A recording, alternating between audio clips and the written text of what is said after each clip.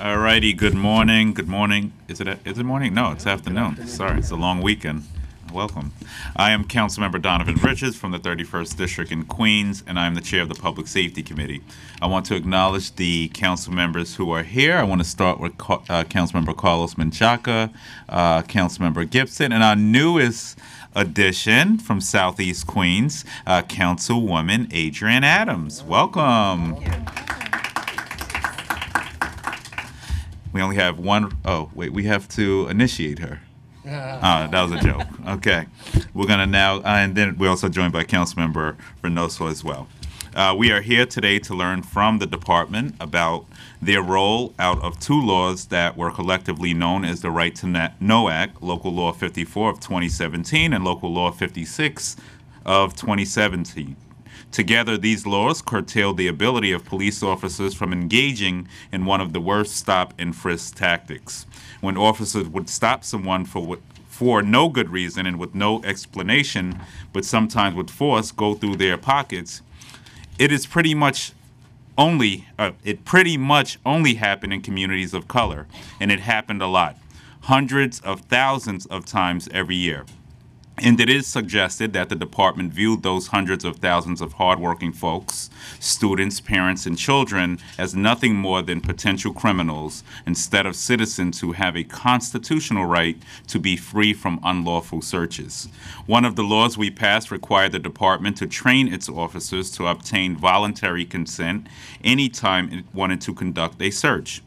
The other law requires officers during any stop where the officer suspects criminal activity but does not have probable cause to arrest must provide an explanation for why the person was stopped and present the, and present the person with a business card that tells the person who the officer is and how to complain about the stop. Now, I actually voted against the second bill.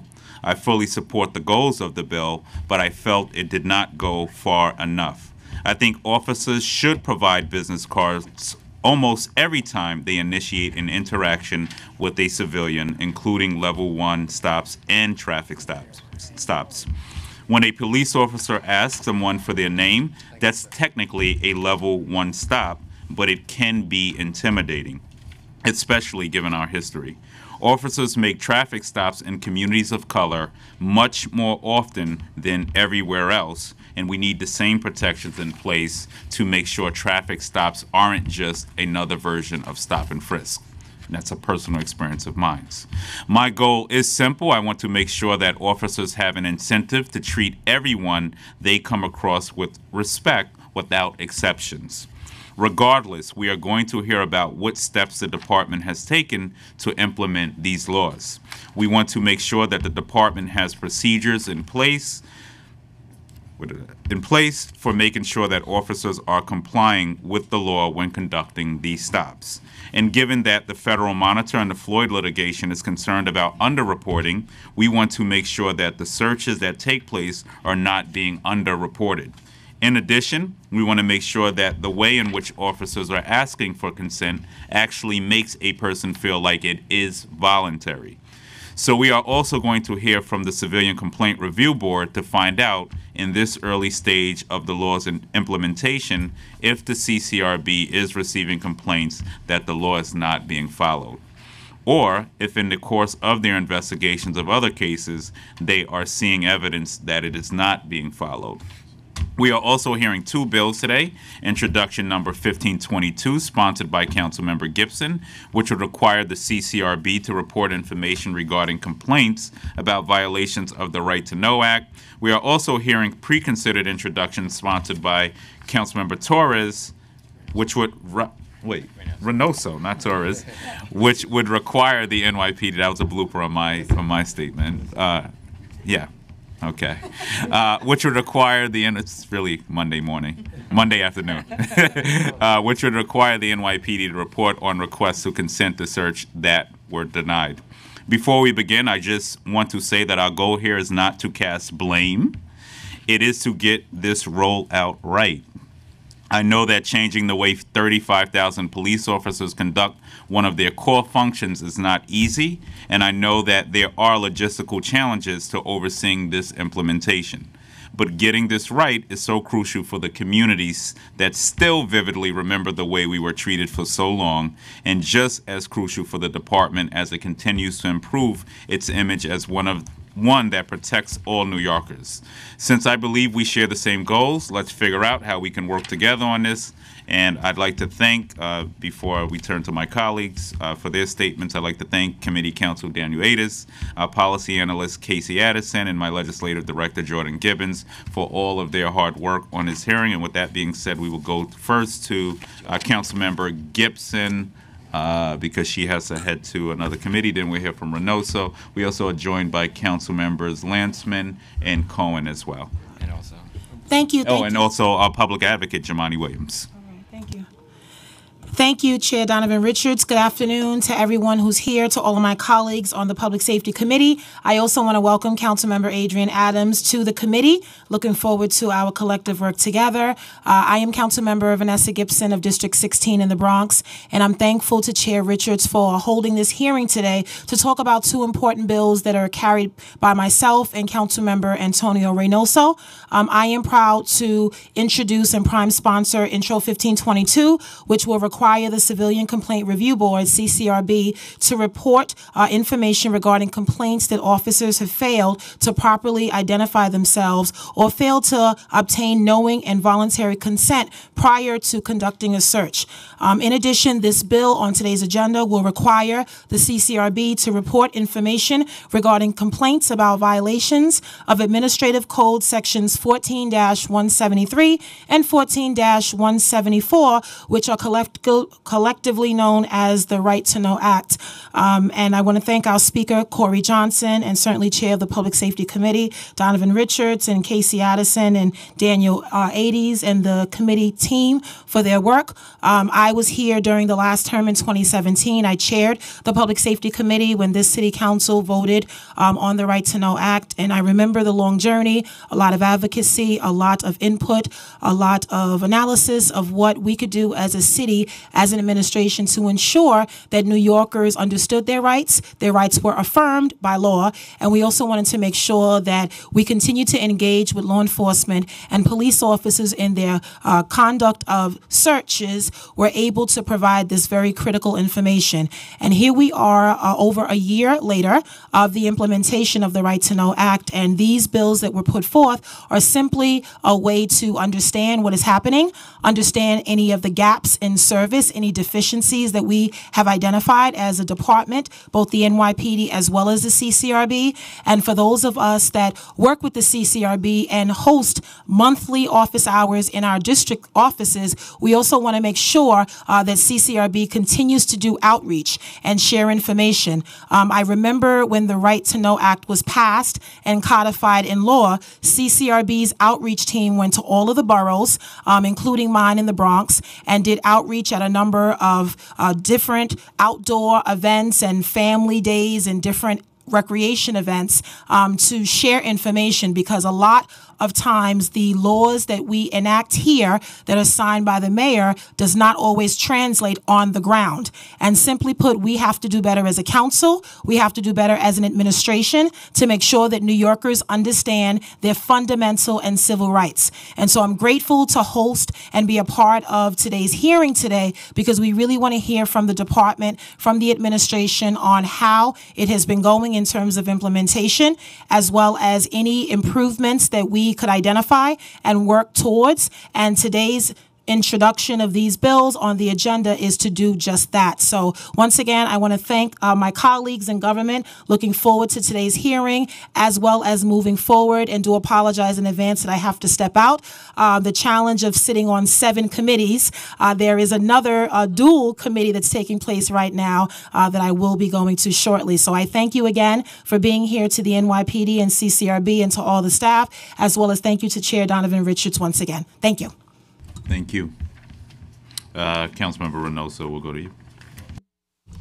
I just uh, want to thank uh, the committee for hearing uh, this in important follow-up to the Right to Know Act. It was a law that took many years uh, to pass. In my time, uh, four years, but even before that, as part of uh, the CRA, um, where Councilmember, then Councilmember Jumaane Williams, now Public Advocate, helped pass it. I also want to thank CCRB um, for the work they did in making sure that the general public knew about the important uh, changes that were being made uh, related to uh, the Right to Know Act. Um, uh, we are going to hear today from members of the public um, that have had interactions with officers um, that seem to speak to noncompliance with the law. Uh, that concerns me uh, because of the fight we had and the intent and the good faith efforts that we were supposed to build through negotiations of this law um, would have made it so that we take it seriously. But right now, it doesn't seem like uh, there's a culture change within the department uh, that is implementing this in a serious way. Uh, it's either that or uh, they're all run out of. They've either all run out of cards or we've significantly reduced the amount of consent searches that happen in the department. Um, so today we're going to find out uh, a lot of information because there is new data, uh, and I'm excited to hear that. But I think my goal in this hearing is for the NYPD to hear what we have to say and begin the process of taking the right to know act seriously. And I know we have growing pains that we have to go through, but my biggest concern is that while those growing pains are happening, people's rights are being affected or people's rights are not being uh, respected. And uh, we don't have time to have progress on justice. Justice, justice should always happen now. Uh, so thank you again, the chair, for giving me time, and I'm looking forward to your testimony and to some questions. We'll go to Public Advocate Jumaane Williams now statement. Thank you, Mr. Chair, and uh, Councilmember Gibson, of course, Councilmember Reynoso for his leadership and, and the Speaker. Um, I I am here just to want to uh, be a part of the conversation. Uh, I think anytime these bills uh, uh, get pushed or questions of how to make policing better, there's always going to be a natural tension that exists. I don't know if that is uh, ever going to go away, uh, but it is important to keep these conversations going forward. I always say that these conversations can never stop. Sometimes it seems as uh, after there's one big fight, everybody thinks that the conversation is going to end, and if it gets pushed, that it's being excessive. Uh, I don't think it is. I think we have to continue uh, these conversations. I know there was a, a, bit of resistance, whether it was the Community Safety Act or the Right to Know Act, uh, on behalf of the police department. I am happy that uh, we have a, a, police department that I think, uh, I know actually, is looking at these things differently than the previous police department, and so that I appreciate. but there are still some natural tensions. I do think there's still resistance to the spirit and the letter of the law when it comes to right to know act. So I'm looking forward to uh, hear uh, what your testimony is. Unfortunately, I won't be able to stay as long either, but I am uh, paying attention uh, to make sure that what the council enacts uh, is actually putting being put into practice. Thank you. Thank you, Public Advocate. We'll now go to our first panel. Uh, NYPD, Oleg, Deputy Chief Josh Cosgrove, Managing Attorney Michael Clark, and Director Alexander Cron. All righty, with that being said, you want to swear them in? And then you may begin. Do you swear to tell the truth, the whole truth, and nothing but the truth, and answer all questions to the best of your ability before this committee? Yes. Yes. Good morning, good afternoon, Chair Richards and members of the council and Public Advocate Williams. Uh, I am Oleg Chernyavsky, the department's Executive Director of Legislative Affairs, and I'm joined here by Deputy Chief John Cosgrove from the NYPD's Risk Management Bureau, Alex Crone from the Office of Chief of Strategic Initiatives, and Michael Clark, the Managing Attorney of Legislative Affairs for the department. On behalf of Police Commissioner James P. O'Neill, we're pleased to testify about the implement- implementation of the Right to Know Act. Building trust between the NYPD and the city's diverse communities has been a cornerstone of the Commissioner's mission. The implementation of neighborhood policing has transformed the way we do business and has allowed the department to continue to drive down crime while bringing us closer to those we serve. Notably, arrests are down from 387,805 in 2014, the first year of Mayor de Blasio's term, to 246,773 last year. That is a 36, almost a 36.5% drop. Likewise, criminal court summonses have, have dropped from almost 360,000 in 2014 to just under 90,000 last year, a 75% drop. The department has reduced the number of times it stopped citizens from a high mark of 685,724 in 2011 to 11,008 in 2018, a decrease of 98.3%. These decreases, these decreases are emblematic of a department ethos to work smarter, to focus our resources with a laser-like precision on persistent pockets of violence and the few that are responsible for it, and to empower our officers to exercise their judgment and problem solve in ways that do not necessarily need to end with some sort of enforcement. Many people said this decrease in enforcement would lead to a corresponding increase in crime. The mayor, this department, council members, and many advocates challenged that common thinking, and under the leadership of Commissioners Bratton and O'Neill, we have been proven correct. The decreased enforcement has not led to an increase in crime.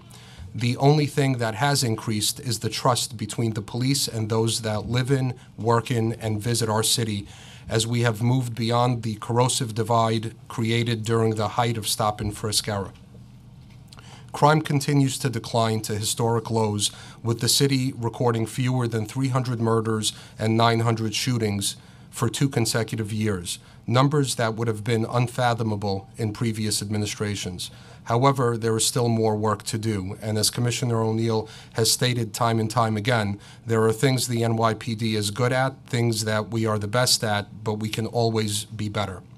After the passage of Local Laws 54 and 56 of 2018, the department immediately set out set up a working group and began the work of ensuring that we were able to timely implement these laws. In the nine months that were allotted, we needed to revise procedures, create new forms to collect data, design, mass produce, and distribute business cards to tens of thousands of uniformed members of the service, and figure out a way to ensure officers knew what, what was required of them. The department immediately began leveraging existing training to help spread the word. In January of last year, the department was in early in the early stage of, the early stages of training each and every uniformed officer on investigative encounters. After receiving comments from the Federal Monitor and the plaintiffs in the Davis, Ligon, and Floyd litigation, the in-service investigative encounter training was updated to teach officers about the impending changes to the law and department procedure. These updates were also included in training and recruit and that recruits in the academy new plainclothes officers and newly promoted sergeants and lieutenants must attend. The next step was figuring out what we didn't know. We were sure we were unsure how often officers would be required to give out ca- cards and how often they would choose to give out cards, even when it isn't required. So we instituted a 30 day pilot program in four precincts to ensure there would be no surprises once, once we implemented department wide. We followed, we followed this up with uh, two focus groups, one with supervisors and one with officers. The pilot and focus groups gave us much needed insight into what a full rollout will look like and showed us that training we thought we were going to use was insufficient. We immediately embarked on improving the training provided to officers so that they were clear about when they were required to offer contact cards. Realizing that not all officers would be able to complete the in person training prior to the law becoming effective, we created a three pronged training approach for our officers. The first part of the training was the creation of, of two videos that officers were required to view. In order to get credit for viewing the videos, they were required to pass two quizzes demonstrating proficiency in the subjects covered in the videos. Additionally, training sergeants from across the department were trained at the police academy with respect to our obligations under the new laws. As, as is the case with any change in law or policy, the training sergeants are then required to perform command level training for all officers in their command during roll call. The third prong to this approach is reinforcement through ongoing training. We achieve this prong by inserting right to know training into existing curriculums such as recruit training, promotional training for sergeants and lieutenants, plainclothes training, and in service training in an effort to help ensure compliance in years to come. Additionally, in order to ensure officers had a simple way of understanding their legal obligations in various contexts, the department created an easy-to-use memo book insert that described the various types of encounters and what they were required to do in each of these situations. The working group also had to coordinate design, printing, and distribution of the contact cards. The working group the working group completed many markups that were ultimate that would ultimately contain the necessary information and would look presentable and professional. Once settled, the department printed and distributed the cards.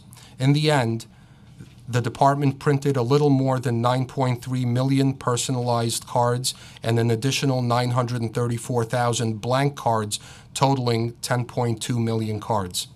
By October 18th of last year, we had completed distribution. In addition, we had to devise a system that enabled us to easily replenish contact cards when officers ran out. In order to address this scenario, we created a portal on the department's intranet, which allowed officers to replenish their card stock with the click of a button.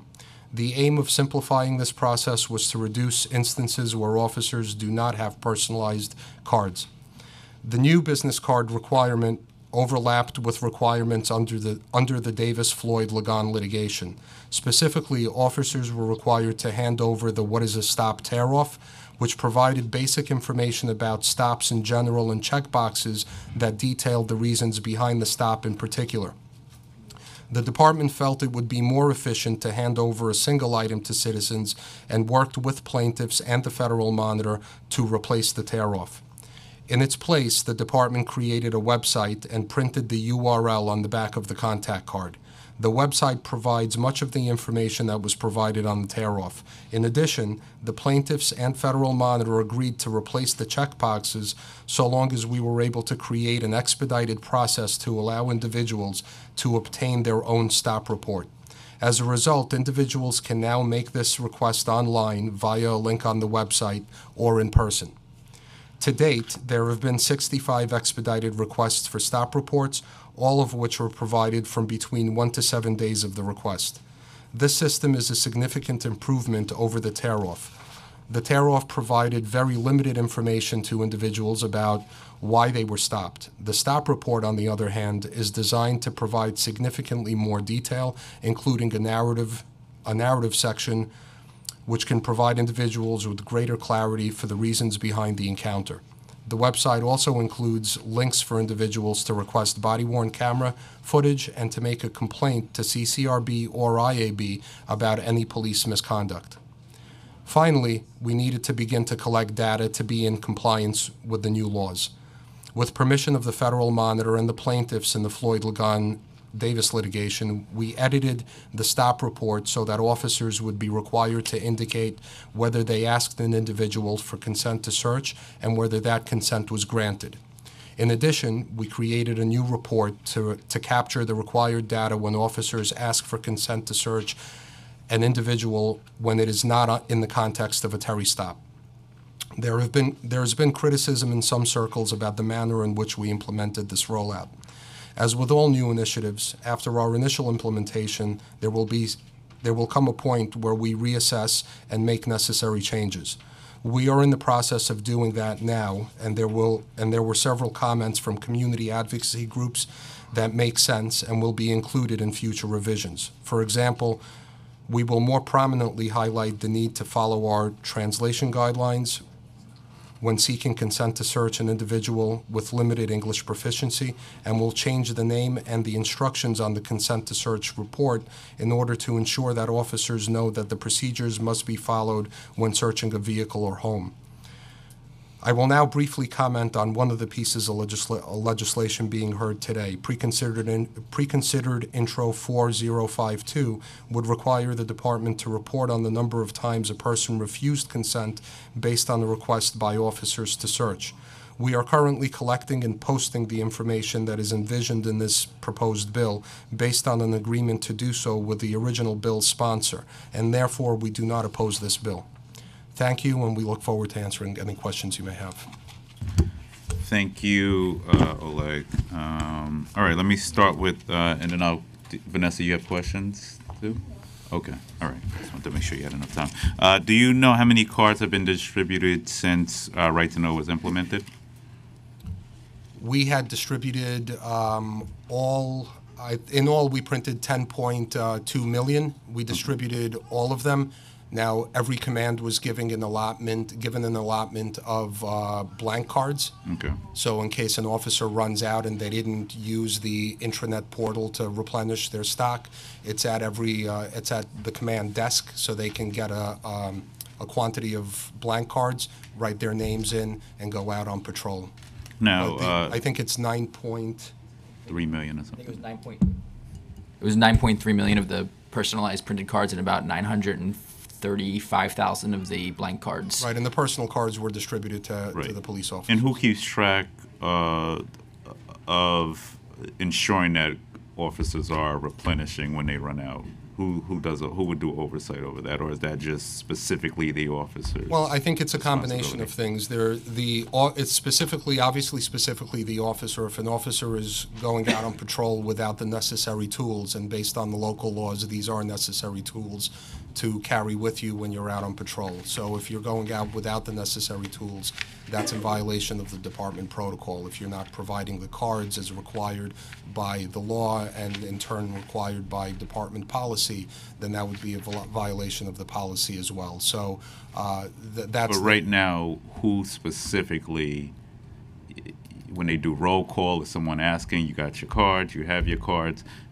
What I'm getting at is, you know, because then you, you have the blank cards, and the blank cards, they would have to fill in their specific names, I'm assuming? Correct. And all of their information, which, I'm not saying it's being done, but we want to make sure that if we pass a law that officers are adhering to it. How many officers have run out of cards?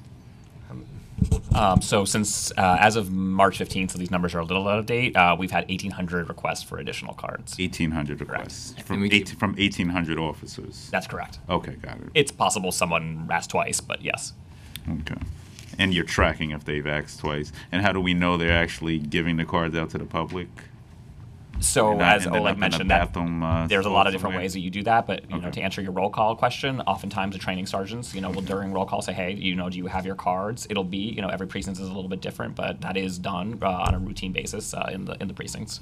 And can you just go through what does the business card say in terms of how people can address complaints about police misconduct? Sure, we.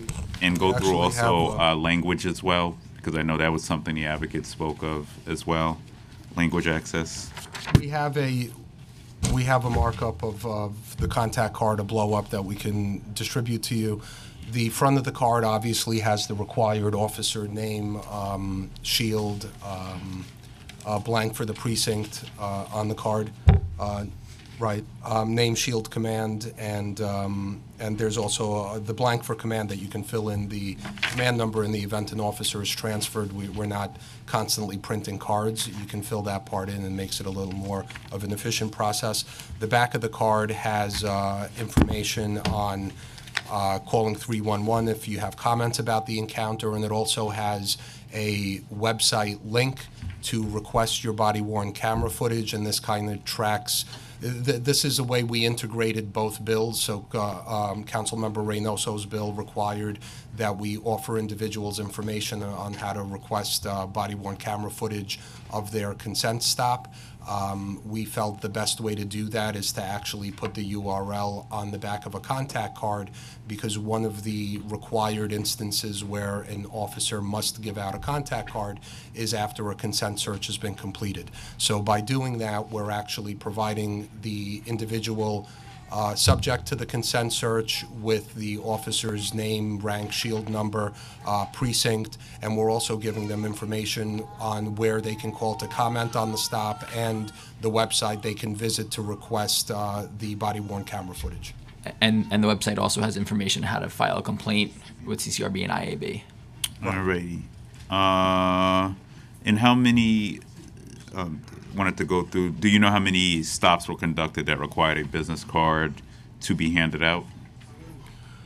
So, I mean, we, the fourth quarter of, um, fourth quarter 2018, we had uh, 419 uh, consent search request, uh, request the consent to search. Out of that 419, 368 people granted uh, consent to search. And that's, uh, that's the fourth quarter report that we posted on our website pursuant to the law. And just go through a scenario when somebody voluntarily uh, is searched, gives consent to search. So just go through, can you go through a, a scenario where you're in the street, an officer is in the street? What would that look like? What would that interaction look like? And, and So would just an want to make what- sure I understand the yeah, question. just go through a scenario. An, an officer sees a gentleman on the street and requests consent to search. Right, well, I mean, it- it's, that would not be a scenario where we would request a search, just merely seeing somebody in the street and saying, I want no, no. No I'm you." just saying, but, But I think voluntary. So you said Right. there were 368 instances where people voluntarily gave you consent to search. Mm-hmm. So these individuals, how would an officer officer approach an individual in this instance and request to volunteer? So, I mean, it can come in the context of a, I think the mo- more, most common would be a reasonable suspicion stop, commonly known as a, a level three stop, where you have reasonable suspicion that a crime has been committed, is about to be committed. Um, there is a level three stop, uh, maybe the individual is, the information is, uh, that there's a gun, uh, individual with a gun. We see an individual fitting that description, um, carrying a bag, and at that, during that stop, uh, we would ask for consent to look into the bag. And most people you've just found to just voluntarily consent. No, I mean, I think it's, uh, I think out of 419 requests, there were, unless my math is off, 51 that individuals that denied consent. So pursuant to uh, the council member's bill, uh, Councilmember Reynoso's bill, we were to, we were obligated to provide uh, um, guidance to our officers and train them on how to obtain, how to obtain knowing, voluntary, and intelligent consent from individuals that we encounter. And we did that through the variety of training that we did, whether it be, um, we did NYPDU, which is our int- intranet-based training, where we put quizzes on the back of the, of the, um, of the video. We did that through roll call training by training our training sergeants and then having the training sergeants train. And then we recognize that we need this to happen on an ongoing basis. And I think uh, the public advocate had mentioned, you know, we don't want to be put in this situation where, you know, we negotiate something, now the negotiation's over, everybody moves on, and, and okay, we close the chapter. What we recognize is the seriousness of these uh, of of these laws that were passed, and what we tried to do is embed the training not only in this uh, one-time upfront training to get us into compliance with the law, but into ongoing training. So we put it into recruit training in the academy. So every recruit coming out is going to be trained on this when an officer gets a plainclothes assignment, uh, they're going to be trained on this as part of plainclothes training. When uh, supervisors become supervisors and get promoted, uh, we train them uh, during their mandatory training on how to be a sergeant, how to be a lieutenant. And we did it as part of the in-service training as well, uh, the street encounter training. Yeah, and um, so you, you answered the consent question, but how many stops in particular were conducted that required a business card to be handed out? So, I mean, do we track level two? So you're, you're asking Amongst for level two. Your level three stop. How many required a business card? Or two?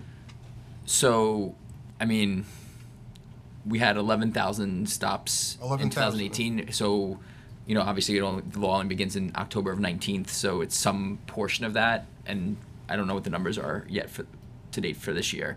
Um, but except unless we give an arrest or summons, it should be all of them getting a, a business card afterwards. I, but I don't have the, the exact data on that. I mean, do we track level twos? We don't track level Right. twos. Right, we don't track level twos, so we don't know that. But for level threes, which we do track, it's unless it ended in an arrest or summons, I believe, is the the exception. Everyone should have gotten one And, after a, le- a level three stop. and how many, how often did uh, a level three stop uh, encounter end up in an arrest? And can you, do you have more of a breakdown of the outcome of those, of the stops? You said 11,000 stops?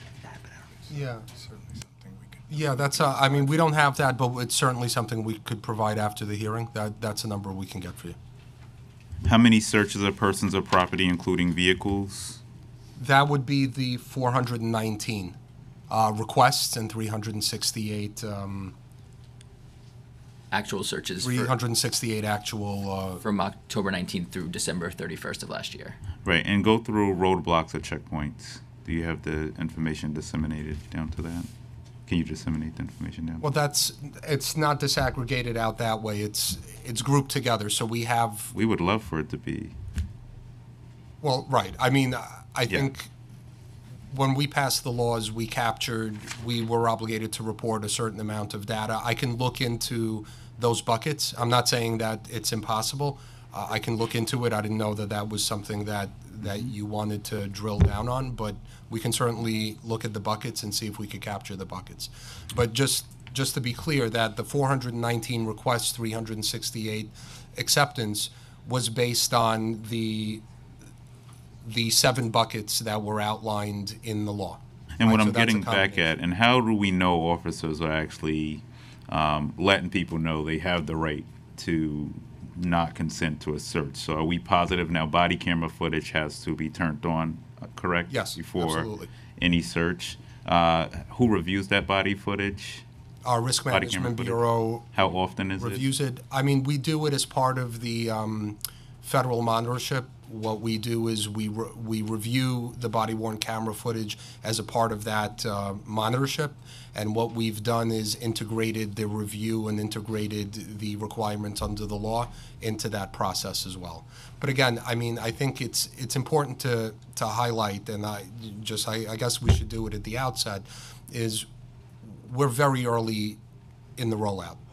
So we have a, the fir, the only quarterly report that's out there now is a partial quarter of 2018. Again, the bill took effect on October 19th of 2018, so it doesn't even capture a full quarter. We would need to get a little further in take a look at a few quarters, compare the quarters against each other to see if there's any kind of trends or patterns. These laws were a big deal. They were a big change. And, you know, we, as you've said early on in, in your testimony, we're the, we're the largest department in the country. We have 36,000 officers. Getting the message out on something this big is something we took very seriously to Councilmember Reynoso's point. When we when when this law was passed and we negotiated in good faith, what we decided to do, even though this wasn't mandated in the law, is we created a pilot because we realized these were significant changes to to traditional protocols that we did. So we rolled out a uh, pilot program in four precincts, which wasn't required by the law. We did that on our own initiative. After that, we did focus groups, both with the police officers and their supervisors. And we did that before the full rollout of the law. We wanted to know if we're seeing problems, we wanted to catch it early and try to amend training. And what we did was we actually saw that there were issues. Officers weren't understanding what their responsibilities were. So what we did was augmented the training. We created the NYPDU videos. Initially, I think the thought process was that we were going to train the training sergeants and the training sergeants were going to train the officers at roll call. We realized that maybe wasn't enough. And we created, based on the pilot and the focus groups, we did the NYPDU training. We still stuck with the in-service training as reinforcement. And then we added as further reinforcement on uh, th- this program into ongoing training. And uh, can we see the videos? Is there? Yeah, we- Okay. sure. Alrighty. Let me ask you a question. In what manner are officers, because this is the big question, uh, for those, and have you found cases uh, where officers have not uh, done what the intent of these laws uh, were passed uh, to do? I think it's uh, again. I think it's pretty early to say. I, I know you're going to have CCRB on after us, and maybe they can shed some more light because clearly, uh, one of the requirements in the bill and one one of the things that we put on the card is uh, 311 to make complaints. 311 would route them to CCRB. We also, in our portal, even though it's not on the back of the card, we give CCRB's phone number when you enter the portal to make complaints, which I know was a topic that folks wanted to be on the card itself, but we found that to be a compromise as well by, we put 311 on the card, but we put CCRB's number on the portal. So maybe they'll shed some light uh, as to what they've seen in the first couple of months. Right, and it's relatively early, so the data may not reflect. And How many 311 complaints? Are you aware of any of I'm them? not, I'm not. You don't track that? Well, we, we don't run 311. Okay. But, But you I- do, I you get mean, that data? Again, I think. I think the right answer to this is you're having CCRB come here next.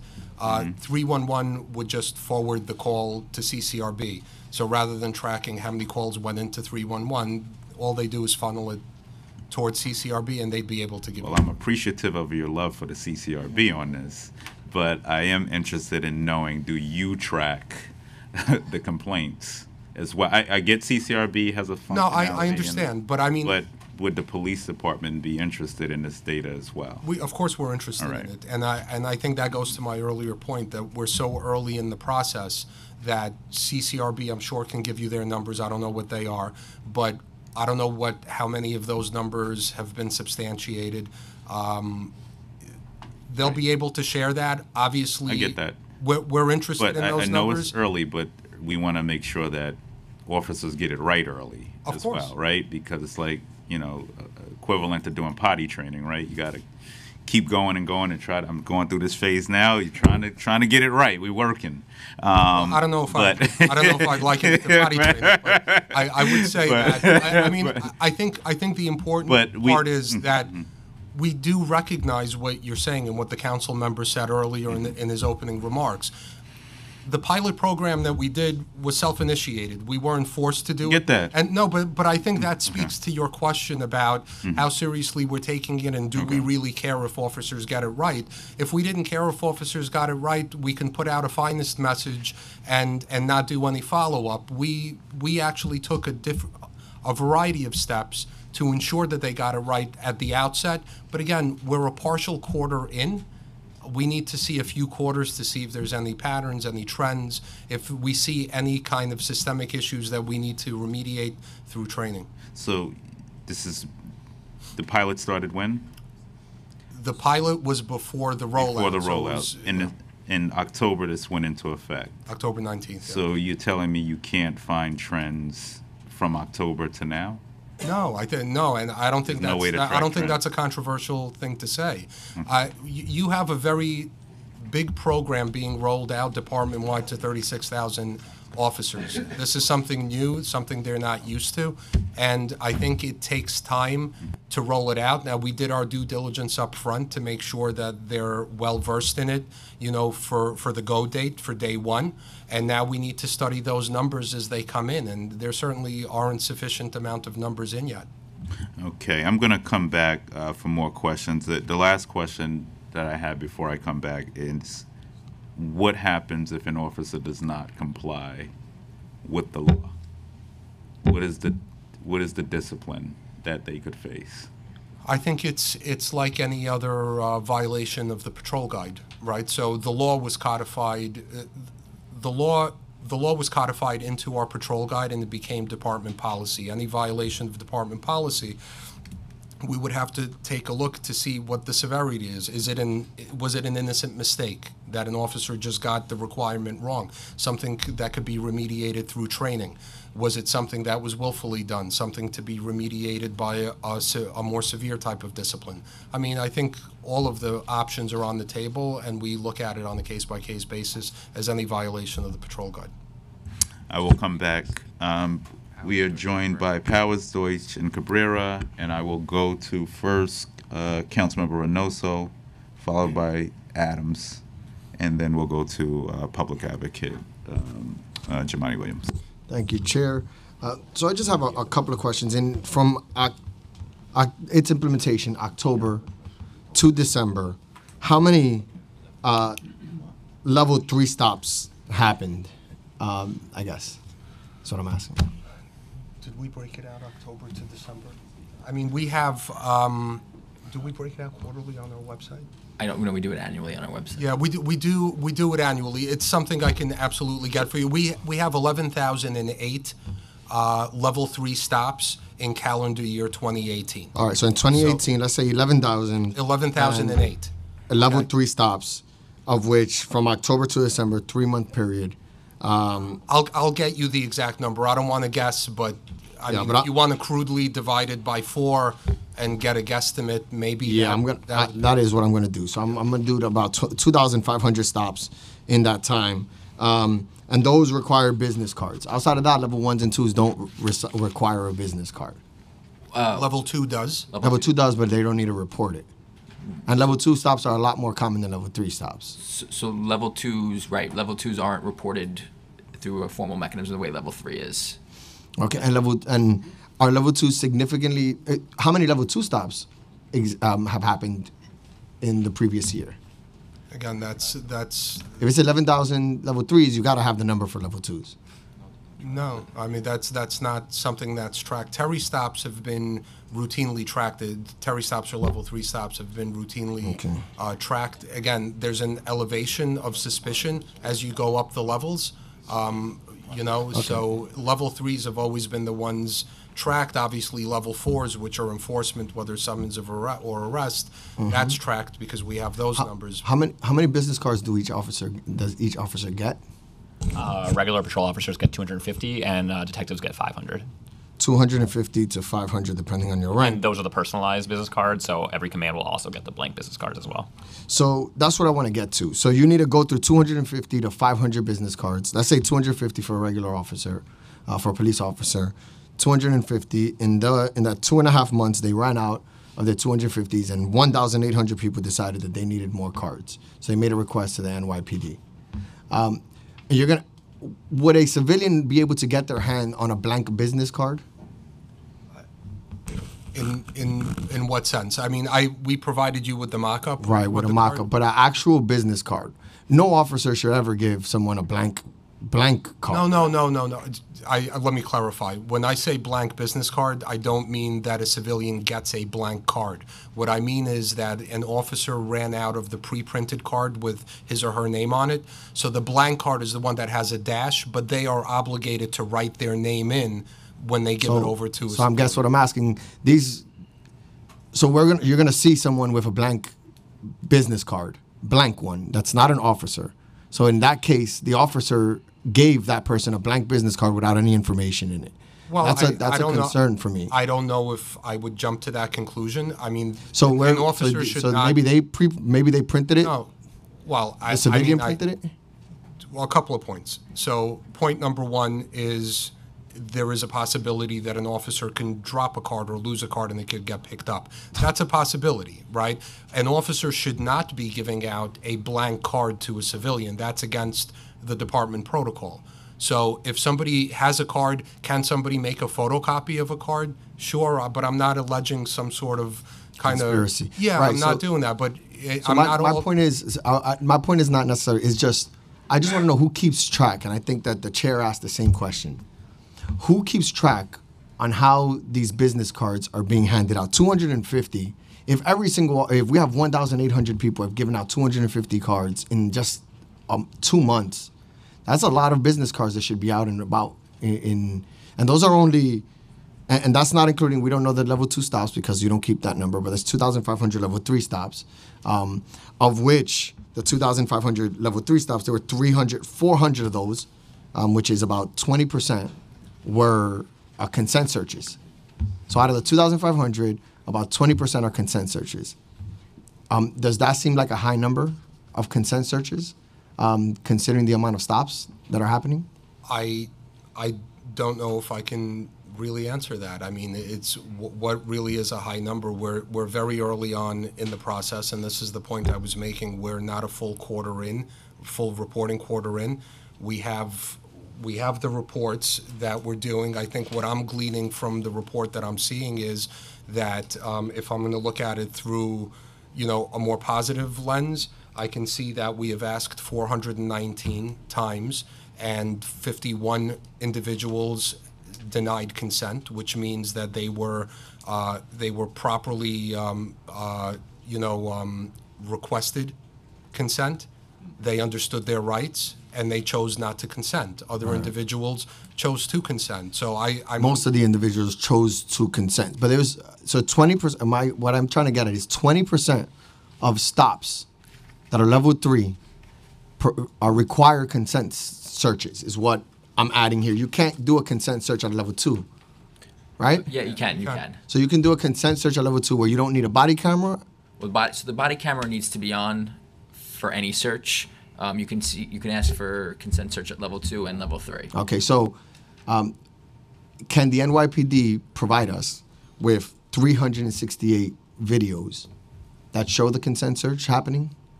Or do I have to foil, or would I have to foil that? Or can the NYPD give me that? I just want to see how the officers are doing to see their performance and see, you know, if they're complying, make sure that everything is is, is happening. Yeah, I mean, we, correctly. c- we can, we can certainly uh, talk about how, how that's, you know, how to comply with such a request. I mean, it's done, it, it, it is done through a FOIL process.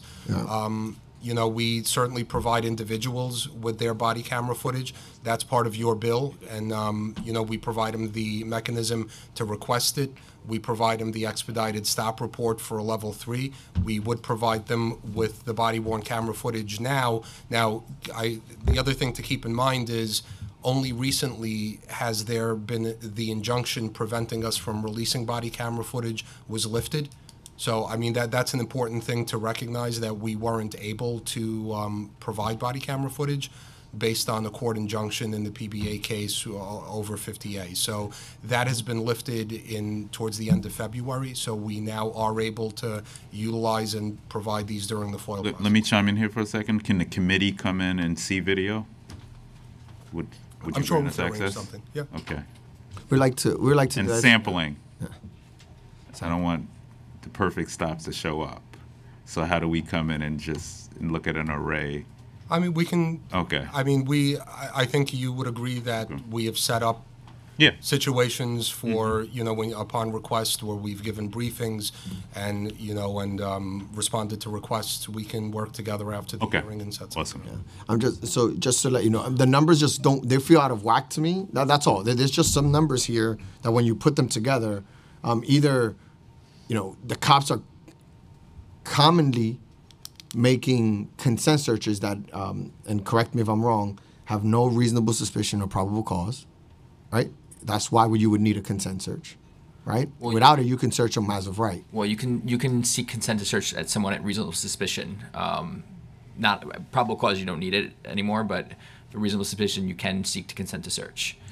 Because you can't search some, you can frisk someone as a matter of right, but you can't search them as a matter of right. That's at, at uh, level three reasonable suspicion. So 20% of the time, the officers are going to these people and asking them to search them. Uh, that I feel that's really high. I feel like there should be more uh, reasonable suspicion or actual probable cause for them to ask for these type of searches. 20% is a significant number in my in my account. But so I'm just doing back of the paper math. It just doesn't sound right. And then out of those people, only 90% of them, uh, 90% of them more or less, said yes, search me, even though I have the right to walk away, which is also a number that I think is unusual. Um, and these are just, I'm just saying that I think they're unusual. Maybe I'm the only one that sees it that way. But if an officer tells me, hey, you don't need to do this search, I'm going to say, oh, no, I don't want to do this search. That's the what I would take. I also want to know out of these consent searches, can I get a number of how many people actually were arrested or got criminally charged? We can look into that for you. That that is also something I would like because then we get to the to another point where folks might be in, they're incriminating themselves uh, with full knowledge that they don't need to be searched, and then that's when I, I start I, I start seeing if this is working right. Um, and I'm not saying that we want to protect criminals or do anything like that. All I'm saying is if I know that I have something that could get me arrested and I have an option not to be searched, I'm probably not going to ask to be searched. So I want to know in what cases did these folks end up being arrested because they were searched, and how many consented to a search there. I want to see what rate that is. I just want to. I just want to be able to note it. Sure. Um, so for me, I guess your data is is is not conclusive. It's very early, but just the numbers just seem very. They're all over the place for me. Um, the how many cards are people 1,800 officers already running out of cards is a big problem for No, me. but, n- well, that, that's not that they're running out of cards. It, it's, it's an example of, of the system that you codified in law working, right? So they came to, they're engaging the public, they're giving out the cards as you want them to do. They came to the realization they're running low on cards. They reordered cards to replenish their stock. That's that's not an example of something bad. That's an example of what you wanted in the law. It's Yeah. this I- part is working. I I want to I I don't see it the same way. Um, 1,800 means yes, you're right. If they're giving them out in a in a meaningful way and they're building community and so forth, but then I just feel like 1,800 officers have given out 252 more cards in the public. That that would be great if that's the idea. But also, my problem is access to blank cards.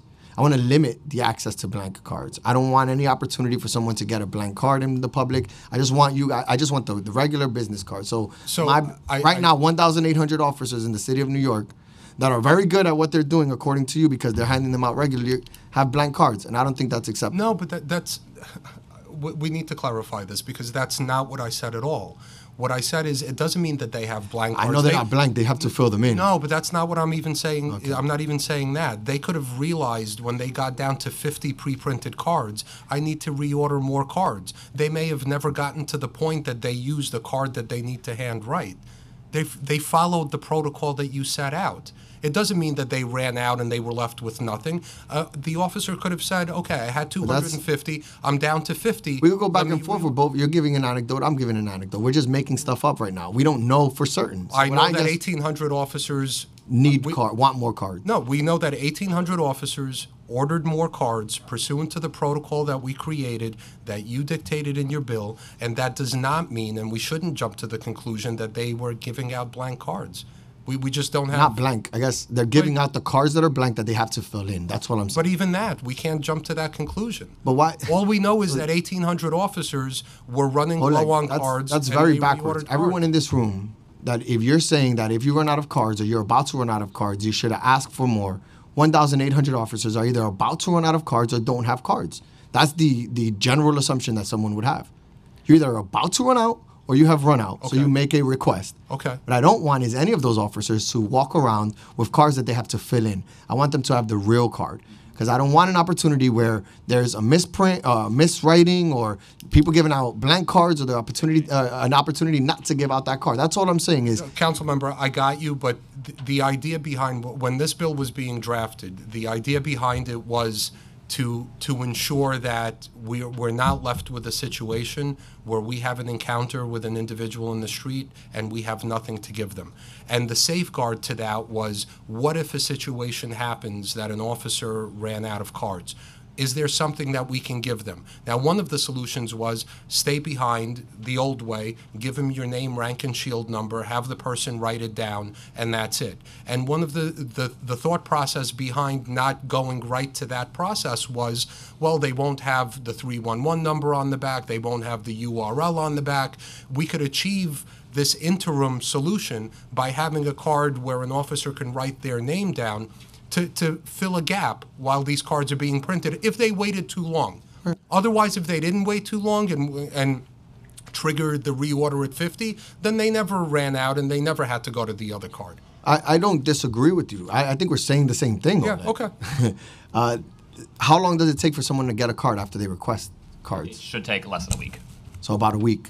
Okay, so n- they never have these blank cards for more than a week. Worst case scenario. Correct. Okay, exactly. We're all on the same page. I think Oleg is is you're concerned about what I'm saying. I'm saying is I don't want people with those blank cards, and you guys have a system by which that should happen very rarely. The next thing, the last thing is um, the stops that are happening though are still happening in mostly black and brown communities. Out of all the stops, I have two, 317 stops out of 368 happening to mostly black and Hispanic males. Uh, do, is there an issue as to why that exists? That's over 86% of the stops happening in uh, consent searches happening in black and brown communities.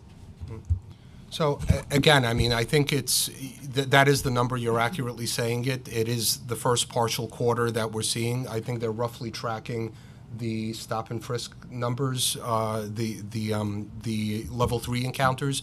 They're roughly tracking that, and generally speaking, we know that consent searches generally fall into the level three stop. So we're seeing that correlation, but again, this is a really early correlation to make because I, although the stop, the um, level three stop numbers, the stop and frisk numbers have been out for quite some time, year over year, and we could make comparisons back to 2011 and see how the numbers have plummeted. We don't have that that reference base with with consent to search, but we will have it. I mean, This is and so this is my last question. So I guess what I'm the insight that I get from that is that in cases when there is no reasonable suspicion or limited reasonable suspicion and no probable cause, that black and brown people are still being stopped at a disproportionate rate than white people. Before, it was a, a stop and frisk happened, you just go after everyone and, and it's fine, and there's no way to judge whether or not there's some type of profiling happening, let's say. Even though the it, it, we found out eventually that it was uh, uh, unconstitutional. The point that I'm making in this one case, where the officer's uh, uh, discretion as to whether or not he should stop someone uh, is based on reasonable suspicion and probable cause. Over 85, I think it's 86% of the time, they're doing that to black and brown people. These are cases when the officer could just walk away because there's not enough evidence there to call for a legal search. They could walk away and not do a consent search. They're doing it at a disproportionate rate to black and brown people. That's a big problem because they have a choice now. There's a there's a there's a no need for them to continue their police work if they need to ask consent, if they need to get consent because they don't they don't see enough evidence there to to move forward. But they do that specifically to black and brown people. And that that is a big concern for me when it comes to the the numbers that I have in front of me that over 86% are happening to black and brown people. Like do you have any statement to make? Yeah, so I mean, I, I think based based again, and I don't know where the the level three stop data breaks out for that last quarter, October nineteenth. But let's, for argument's sake, let's use the numbers that you provided that um, divided by four, and and you'll have about you said twenty five hundred. Uh, and you said 20% of that are consent searches. So we know that in 80%, so the demographics tend to break the same way as the consent searches, generally speaking. And what we know, to your point, is in 80% then of those level three stops, a consent search was not sought. It was sought based on what you said in, in the 20%. Again, I'm using your numbers because I don't want to get married to the numbers. I don't know that breakout. But so we know that. Um, what we're going to see over time, and again, it's I'm going to keep repeating this because we're we're drawing conclusions from a partial first quarter, you know. So we want to see how these numbers play out over over a few quarters. We want to see if there's any kind of trends, but I, I, I recognize what you're saying. I you know I, I understand what you're saying, but we don't necessarily know that you know where those consent searches break out. So was there probable cause to arrest based on that? Was that developed? And we know that in, in the vast majority, which is 80%, based on the kind of approximation that we're making, that consent was not asked for.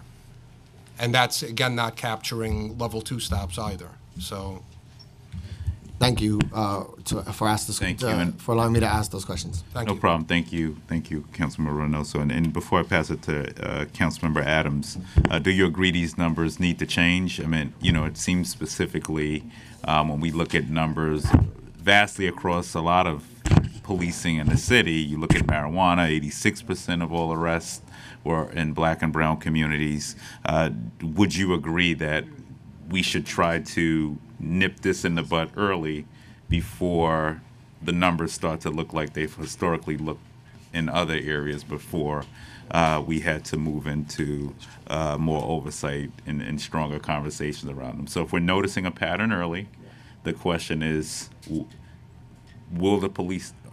Do you do you agree with what I'm saying? One, but two, do you think we should try to make some changes now before the numbers Well, yeah, I mean, I think it's it's hard to call it a pattern when we only have one quarter. So we need to see a few quarters to, to actually call it a pattern. But I, I think to your larger point, which I would agree with, and I think the commissioner and, and you would agree that the department has gone down this road. When you take a look at a height of 685,000 stops in 2011, and you're down to 11,000 in 2018, 98 more than 98 percent drop. When you look at 140,000 fewer arrests from 2014 to 2018, when you're looking at 75 percent decreases in summonses, right? Where we work together on the um, Criminal Justice Reform Act to issue civil summonses, but criminal court summonses are down from what 360,000 to under 90,000. I think what you would agree with me on is is that that is precisely where the department is Right. going. We're trying to find solutions that are not necessarily always enforcement solutions. And that's why I, I want to know the numbers in, in most of these voluntary consent stops. You know, were there weapons found? You know, w- were these individuals arrested? Uh, and, and I'll just equate this. You know, I don't want to equate this to basketball, but you know, this is this is looking like the New York Knicks down by 30 in the first quarter. And and I'm not saying it's not possible for them to come back in the fourth quarter and win the game, um, but it's not likely. So if we can have some star power early on um, in this fight, we perhaps won't be down by 60 in the fourth quarter. Um, sorry, but but but you get my point. We're seeing the numbers move in a certain direction. Well, I, I, I, just mean, want to harp on it. I'm just saying Again, it early we have- enough to get it out. I. I get it. yeah. Noted. Okay. Um, again, and I'm not going to, you know, repeat Yeah. the fact that we're very early on Yeah. and we don't have a lot to, you know, to Forgive us for being leery. compare. But I, I know what you're saying. All righty, I'm going to go to Councilmember Adams. Thank you, Chair Richards. Thank you very much for your testimony Thank you. uh, today. We really do appreciate it. Um, I- I'm going to try to be brief. Uh, In echoing a lot of my colleagues' sentiments today and being very, very concerned of that 86% uh, in our black and brown communities who are affected uh, by this, and we want to to make sure that they are affected positively by this law. My concern is still with the monitoring, uh, if you will, of of compliance with with the law. Um, how are you making sure that officers who are giving out cards in all of the circumstances um, in, in, in which they're supposed to? Are you utilizing uh, body worn cameras? How exactly are you measuring uh, officers' intake? So uh, body worn cameras do go on the two at uh, at level two, at level three uh, during searches. So if we go down the line of um, of of buckets that are envisioned in in um, local law, it's either 54 or 56. Um, the the the contact card bill. Um, the vast majority of those buckets are captured in the body worn camera policy, and there is body worn camera footage. Uh, we do do audits of the body worn camera footage based on our federal monitorship. Um, we clearly, as we move further out from implementation, uh, we're going to utilize CCRB data and see what they're seeing see where we need to train, see where the pockets are of issues if we start seeing issues, see if this is more of a across the board issue that we're witnessing or if it's focused on certain precincts that we're seeing it and maybe you don't need a department wide refresher, maybe you need refreshers in certain areas. But again, as I said, it's we're a little early, but those are all of the things that we're looking at and we're not saying that's a comprehensive list. We may see things in the data as we get this data that's going to kind of shine light and give us some other solutions and directions that we're not seeing. So we're we want to make this work. We I think we've shown that when the bill was passed and we actively worked on negotiations on these bills, but once we came to that solution and the bills passed, we jumped in and we wanted to make sure it worked. We did pilots, we did focus groups.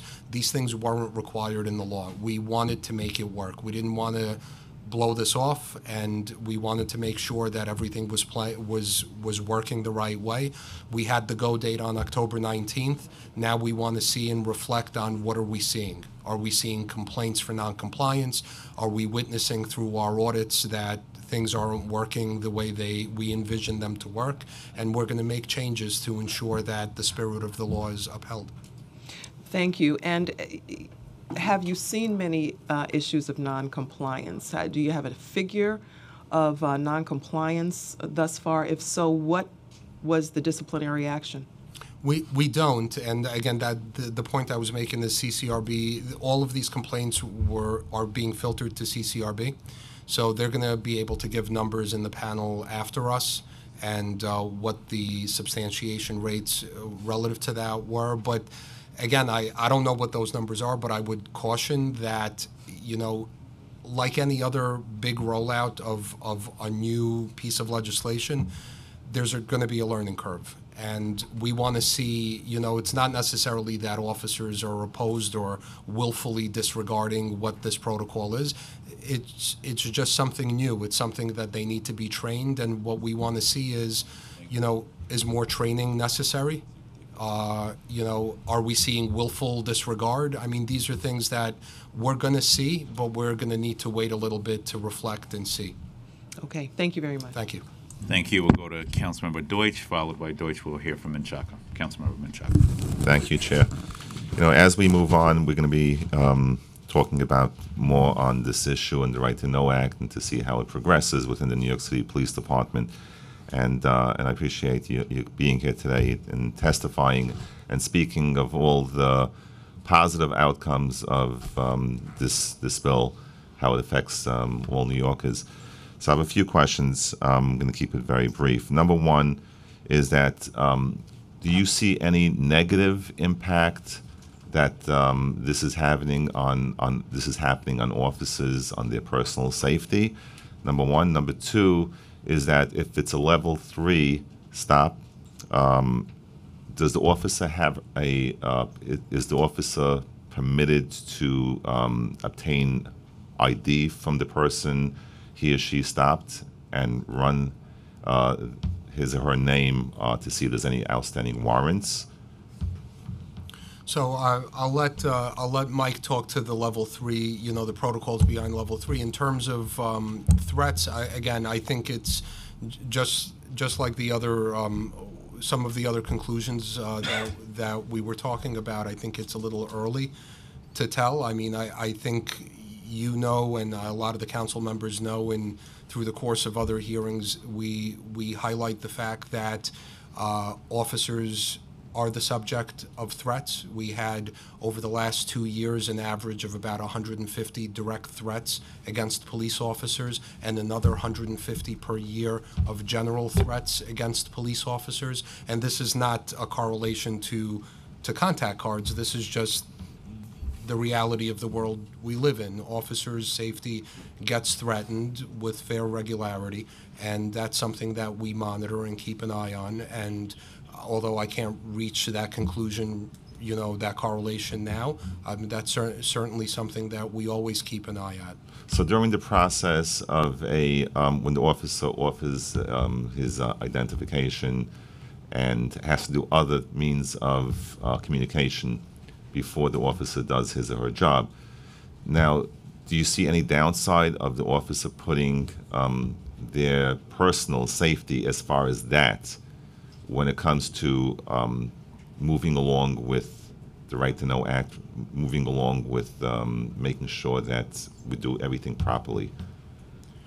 I mean, again, so, I think if, I you're think if you're approaching someone and the first thing, you, what is, what is the procedure on the level three? What is the procedure? What, do, what does the officer have to need to do? When you're approaching someone at level three, you're supposed to identify yourself um, and state your purpose for the interaction, unless certain exceptions apply, like exigent circumstances.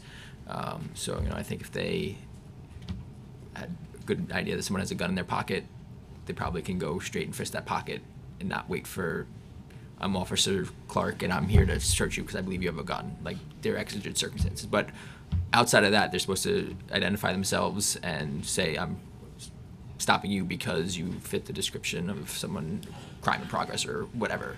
the reason So ones. is officer on the level three, is officer uh, permitted to um, obtain ID even if the, if, even if that individual refuses to uh, have their bags uh, searched? Right, they're allowed to ask for ID, but uh, individuals aren't required to provide it. And they're not required to provide At- any ident- Right, at, at a level three interaction. Uh-huh. Um, if you're driving a car, that's obviously different. But for like on a on a you know on pedestrian on the street, they're not required to provide ID. So from the to ask for it. so from the eleven thousand stops, um, you mentioned actually um, you mentioned fifty uh, from the four hundred nineteen. You mentioned fifty one refused consent, and that that um, includes uh, giving uh, ID. Correct No, that that refusing is refusing to be searched. to be searched. Right. And now from that amount, how many actually gave ID? Like if so, if fifty one refused to be searched, did that 50, did those fifty one um, consent to give ID? They may, maybe, maybe not. I don't think we have data on how, how often we're asking for ID. I know, I know we don't have that data. So once someone gives ID, then you have a right to uh, run the person's name to see if there's any outstanding warrants, correct? Yeah, I, th- I think, yeah, yeah, you can do that, but it's, I mean, you can't prolong the interaction to do that. Like, if you can do it within the time you would normally be di- doing on the stop. So my question is like from the 11,000 stops, so if from the 11,000, um, let's assume there's a certain percentage that refused to give consent to have the bags searched. But from the 11,000, they all agreed to give the ID to the officer, right? And, and the officer now has a right to uh, check um, the ID to see if there's any outstanding warrants or if the person um, was previously arrested and for what it was. We have no numbers on that. I am pretty sure we don't have, we- I'm I'm pretty sure we're not tracking how often we request Do you, these amounts you, of do you believe it's important to check these um, stats in order to understand? I mean, I think personally that it's important to know this as we continue talking about how this, um, how these bills um, progress, Yeah. to see um, how many people that actually stopped may have been arrested for gun possession, may have been re- arrested for other types of violent crimes and as well as to see how many people have warrants for possibly some violent crimes. This way, we could see how to better not only um, make sure that uh, New Yorkers are protected, but the people that are doing the jobs to protect New Yorkers, that uh, they have families as well and that they are protected as well. So, I mean, I think, you know, I think we have to look at it a couple of different ways. So, if a level three elevates and gives an officer probable cause to make an arrest, that off that individual is arrested. We clearly know their name. We can we know their criminal history. We know you know who these who these folks are. At a level three encounter, that's that where we have reasonable suspicion, but it does not uh, rise to probable cause where we're making an arrest. That individual will be free to go. We would not detain that individual to run their warrant history to see what their resume, you know, was to the extent they had one. Uh, that wouldn't be proper. Um, nor is that individual obligated to give us ID. They can refuse ID, just as they can refuse a consent search. We could ask for it they don't have to give it to us. So we could have a situation where we're at a level three, we ask for a person's name, they refuse to give us, they, they refuse to identify themselves. We ask for consent to search, they refuse consent to search, and then nothing out of that level three stop elevates to probable cause, and they're leaving the scene. So, I mean, I, I, I hope that answers the question. Okay, sort of. Okay, I just want to uh, finally just say um, I want to thank the, the sponsors of these bills, how important uh, this is um, in order to have accountability uh, on the officers who are out there. And, um, and, I, and I think we're moving in the right direction. Uh, but we also need to make sure that um, overall, as time goes on, that um, you know, we- not only do we, we, we you know, we, we protect um, the citizens of the city, but we also protect those uh, law enforcement officers who are out there doing the job. And just to show, um, just a few days ago, Anthony Salgado, who was arrested three times within a short period of time, uh, once um, grabbing an officer's tasers, and the second time attacking a correction officer, and a third time um, uh, injuring an officer um, during uh, um, at that at the hospital while he while while he was in custody. Um, so this is very concerning to me. Um, yes, we're speaking about um, um, you know making sure that there's accountability with the police department, but at the same time we need to show that there's accountability that when an officer is doing his or her job, that they are protected as well. And we as New Yorkers, we have to take everything into account, and and look at both sides and look at um, overall how these bills will uh, imp- how how these bills are being implemented. That it should be done properly, 100% to make sure that it works right. So I want to thank you. Thank you. Thank you, uh, Councilmember Deutsch, and I think you made some valid points. I think we were we were dragging you further left for a second, um, but you made some really valid points. I think at the end of the day, we want to ensure that all of these voluntary consent searches are actually ending up with something, right? You know, I think the department talks about precision policing. Uh, how precise are we really being if you're stopping over I mean, if you're searching over 300 individuals and really not finding anything. So that's why that data, the data component is so important here because it will tell us whether we are, in, in, in one sense, really precisely identifying those who could bring harm to our communities and also to our officers as well. But we need to know that these searches are searches that are meaningful um, because they, you know, there's a public safety threat there. And we'll, we'll get the data, and I'll also look in, I have in my notes, uh, what, what we're recovering. All right, thank you. Going to go to Councilmember Menchaca. Uh, thank you, Chair, and thank you to the NYPD team for being here today. Uh, I I have two sets of questions, and one of them are really thinking about engagement of the neighborhoods and the representatives of our communities that can be part of shifting and changing and evolving the patrol guide, uh, which is like the the Bible, if you will, of the NYPD. You know, I, I've been uh, in some of your with some of your predecessors a very long time ago in these spaces where the patrol guide was getting changed, and it takes time, it takes effort, but it really gets into a better place when you have really good engagement. And there were some agreements that were made as we moved forward uh, to to change these guidelines with community at the table. And so, are you aware of any any issues that the community advocates have raised, uh, specifically speaking to patrol guide changes in language? Relative to, to right to know. Right to know. This is all about right to know. Ha- Yeah. Are you aware of any Yes, of, of any issues? Yeah, and, Uh, because I, I want to make sure that I can kind of walk through some of these issues, and on on the record, you can kind of respond to some of those issues. And I think what what's uh, what comes to mind first is the specific changes that were made to training, written guide, guidance, operation orders, consent forms, and reporting protocols for home and vehicle consent searches, uh, if any, to ensure that they conform to the Right to Know Act. Will you share copies of these documents with the council and advocates? So, yeah, I mean, I think we should, maybe I should kind of start with a little bit of an overview. Please. Um, we we did meet with advocates. Uh, some advocates we met earlier on. Some advocates we met uh, we met with a little later on in the process. With that said, even the advocates we met with later on in the process, we listened to their concerns with uh, the patrol guide procedures that we were doing, uh, that we were putting out, and although it was too late to actually mm, change uh, the patrol guide procedure uh, because rollout was about a month away. What we did commit to is taking a look at their suggestions, and when we do our next revision, and as I said earlier, anything this large, we wait until it's rolled out for, you know, six, eight, nine months, you know, and to see is there anything operationally that we need to change because it's just not working? There's hiccups in the process.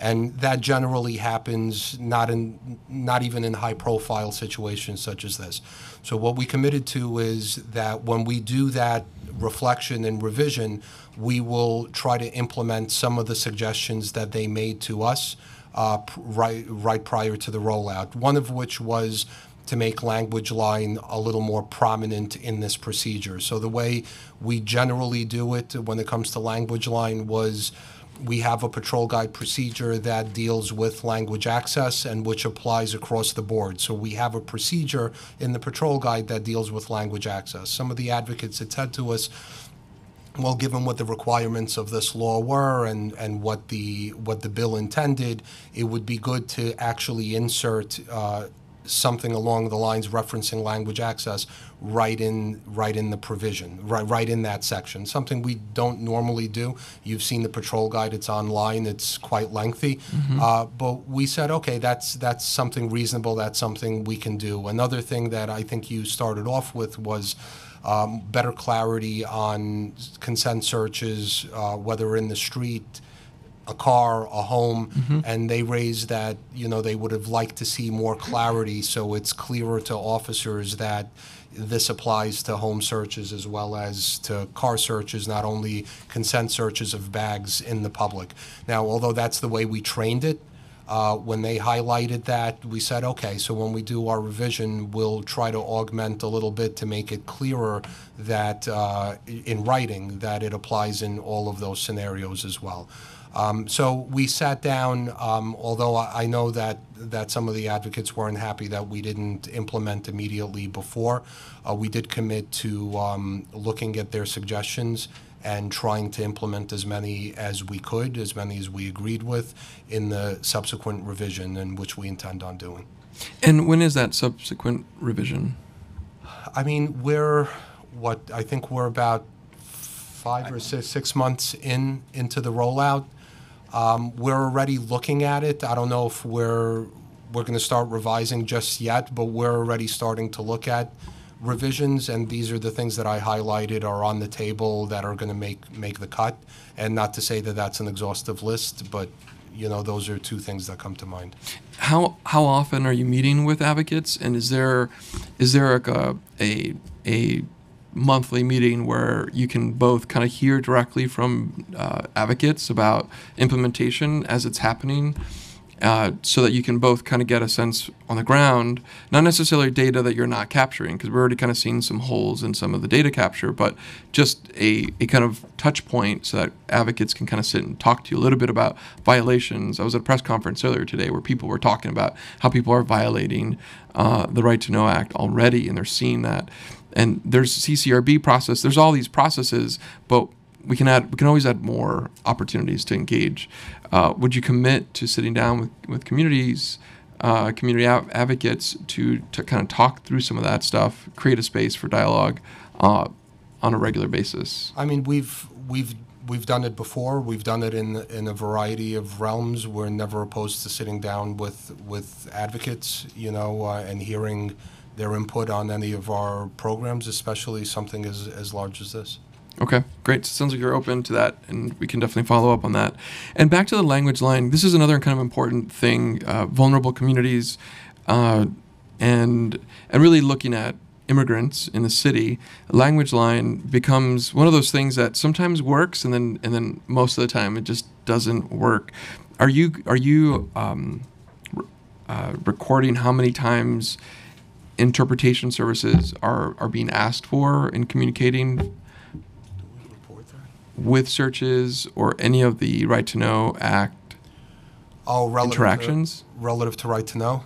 relative Um, to? Well, we just stick there because No, not specifically. I can take a look. Um, if we report anywhere or capture anywhere, how many times we utilize language services, generally speaking. I know that we're not capturing how many times, but again, I, I think it's important then to, to highlight another point that consent searches, if we recover anything from a consent search uh, that's incriminating, that results in an individual's arrest, uh, that's subject to oversight of the courts. So, and the the test that a judge would would put upon a situ a consent search is whether the consent was obtained voluntarily, knowingly, and intelligently. Clearly, if somebody doesn't speak the language in which the request was asked, they're not consenting intelligently and knowingly. I think we would all agree on that, and the evidence would be suppressed.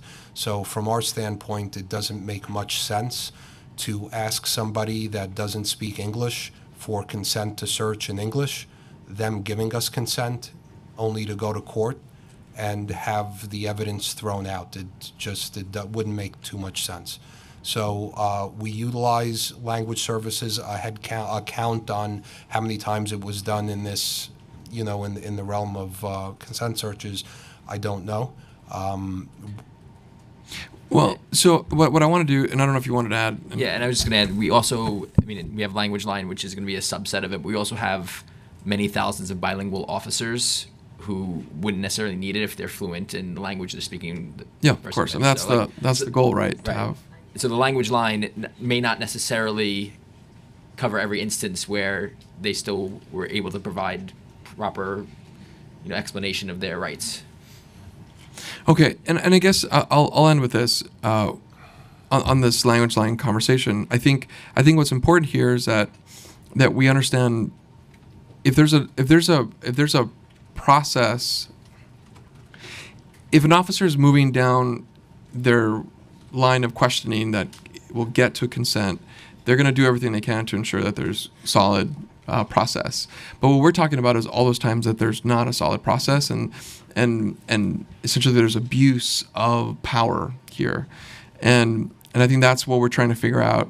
How many of those instances people are asked for a language line where they know that that there was a, an abuse of power by the police officer, uh, and I think those are the cases that we're talking about. Those are the things that that make make it difficult for communities when they feel surveillanced, over surveillanced, and so it's not it's not those cases that work really well where they know that there's there's there's been the good work of the police to do the investigation, to know they're going to go in and they're ready. It's all those other times that are messy, and and really causing a lot of of of um, backlash from the neighborhoods. That's that's so so really getting a sense about how many how many requests are being asked for language line. Those are important things so we can kind of document.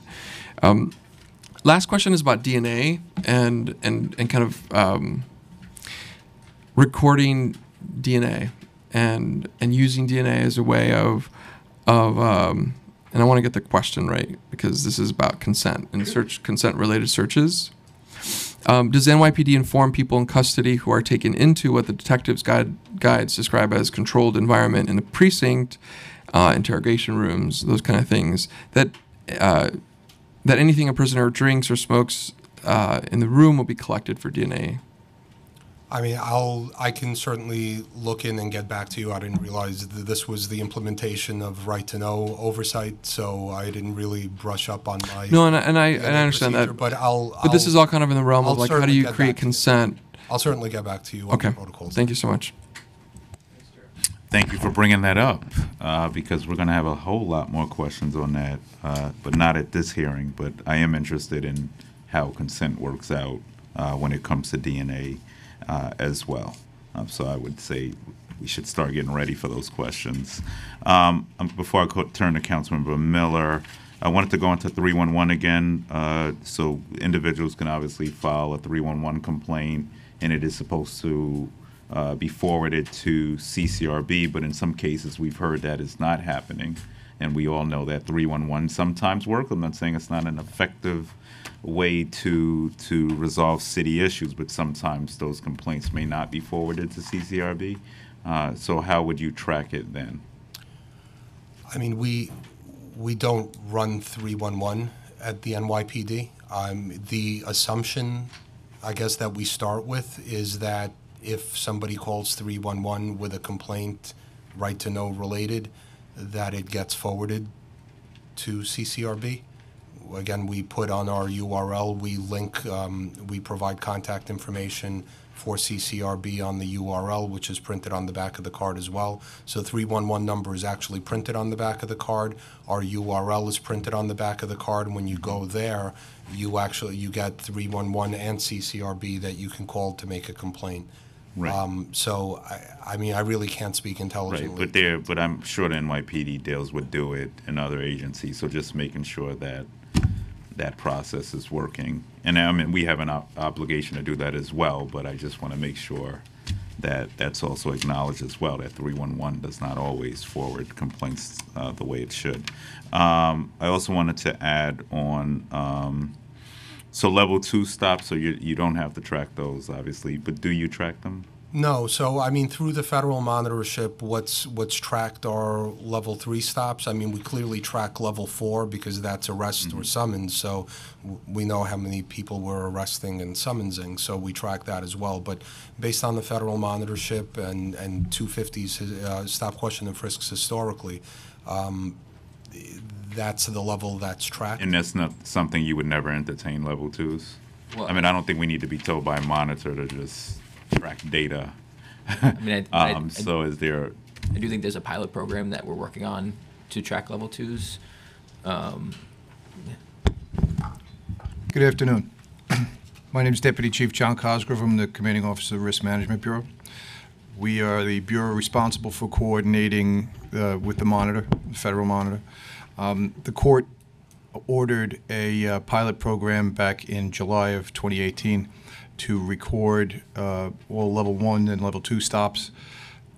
The court further ordered in August that the body worn camera body worn cameras be utilized to record all level one and level two stops. In November of 18, the uh, federally, uh, the court-appointed monitor uh, de- designed, submitted to the court a framework for designing a pilot program that would impact uh, 12 precincts and PSAs throughout the city. Um, that framework is currently under discussion with both ourselves, uh, w- bo- by the department, the monitor himself, and the uh, plaintiff's attorneys for the three different cases. Um, There are some aspects that need to be uh, ironed out to see if it's feasible at all. They involve uh, civilian observers and um, some modification of electronic app program within our smartphones. So um, it's anticipated that we'll come to some uh, type of uh, pilot framework that we can actually uh, complete uh, and participate in. But uh, that would be that's what we have on the horizon for level two stops. You are doing this, as you said, in some precincts, uh, level one and two interactions, right, with body cameras?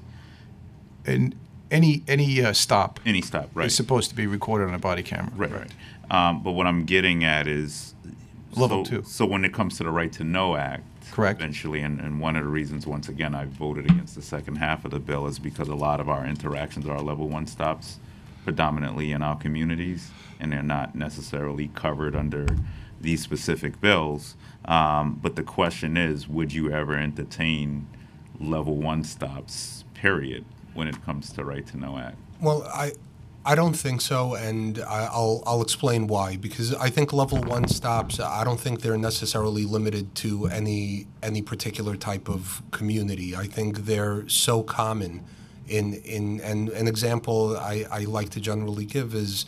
You know, you're looking for a missing child, and an officer is walking through uh, Central Park or Union Square Park and asking individuals, encountering individuals, and asking questions about have you seen the child and whatever. These basic interactions would fall under, and they happen every day throughout the city. We take a look at 911 calls, which a lot of them may result in level one encounters. Over six million of them. I mean, there's there's millions of these encounters that happen uh, on a routine basis. Where we tried to focus with with right to know is the encounters where accusatory questions begin not a basic encounter where we're actively telling our officers affirmatively get out there and speak to people. That's neighborhood policing engage with the public and tying a mandatory you know card that's linked to level 3 stops and level 2 stops which are accusatory stops in their nature you know to an innocent or a, a basic stop for request for, for information uh, we don't think that's probably the right approach. Um, you know, just the sheer volume of cards that would be dispensed. Now, that's not to say that there can't be a scenario at level one where a card wouldn't be handed out. An officer can voluntarily hand out cards, and we encourage that as part of neighborhood policing. Individuals can ask an officer for a card. An officer under the policy that we created would be obligated to give a business card if asked, even at a level one. Um, so we try to cover a level one as much as we can, but I think as a mandate in, in right to know, I, I, I don't think that that would be prudent. And I'll just let me just, and I'm going to move to Councilman Miller, but you know, as we talk about building community police relations, let's imagine there is a three-year-old young lady. On, let's just use the example that you gave in the park. You know, what would be wrong with handing someone a card to say, hey, if you got information, if you if you if you receive any information, if you see this child, here's a card. Is the is the worry that um, you believe officers may get false complaints against them? Is that is I mean, that, that- is that that's- that what the premise of? That, that certainly could be a result. I'm not. But how- You know, but, I, um, but I, I think it's just, you know, it's getting to a place where where you're talking about millions of encounters and you're talking about a mandate. Right, so that, that's what that's what we're really talking about when we talk about level one. We're talking about creating the type of mandate that we created for level two and three, mm. which is a mandate. You have to do it, mm. right?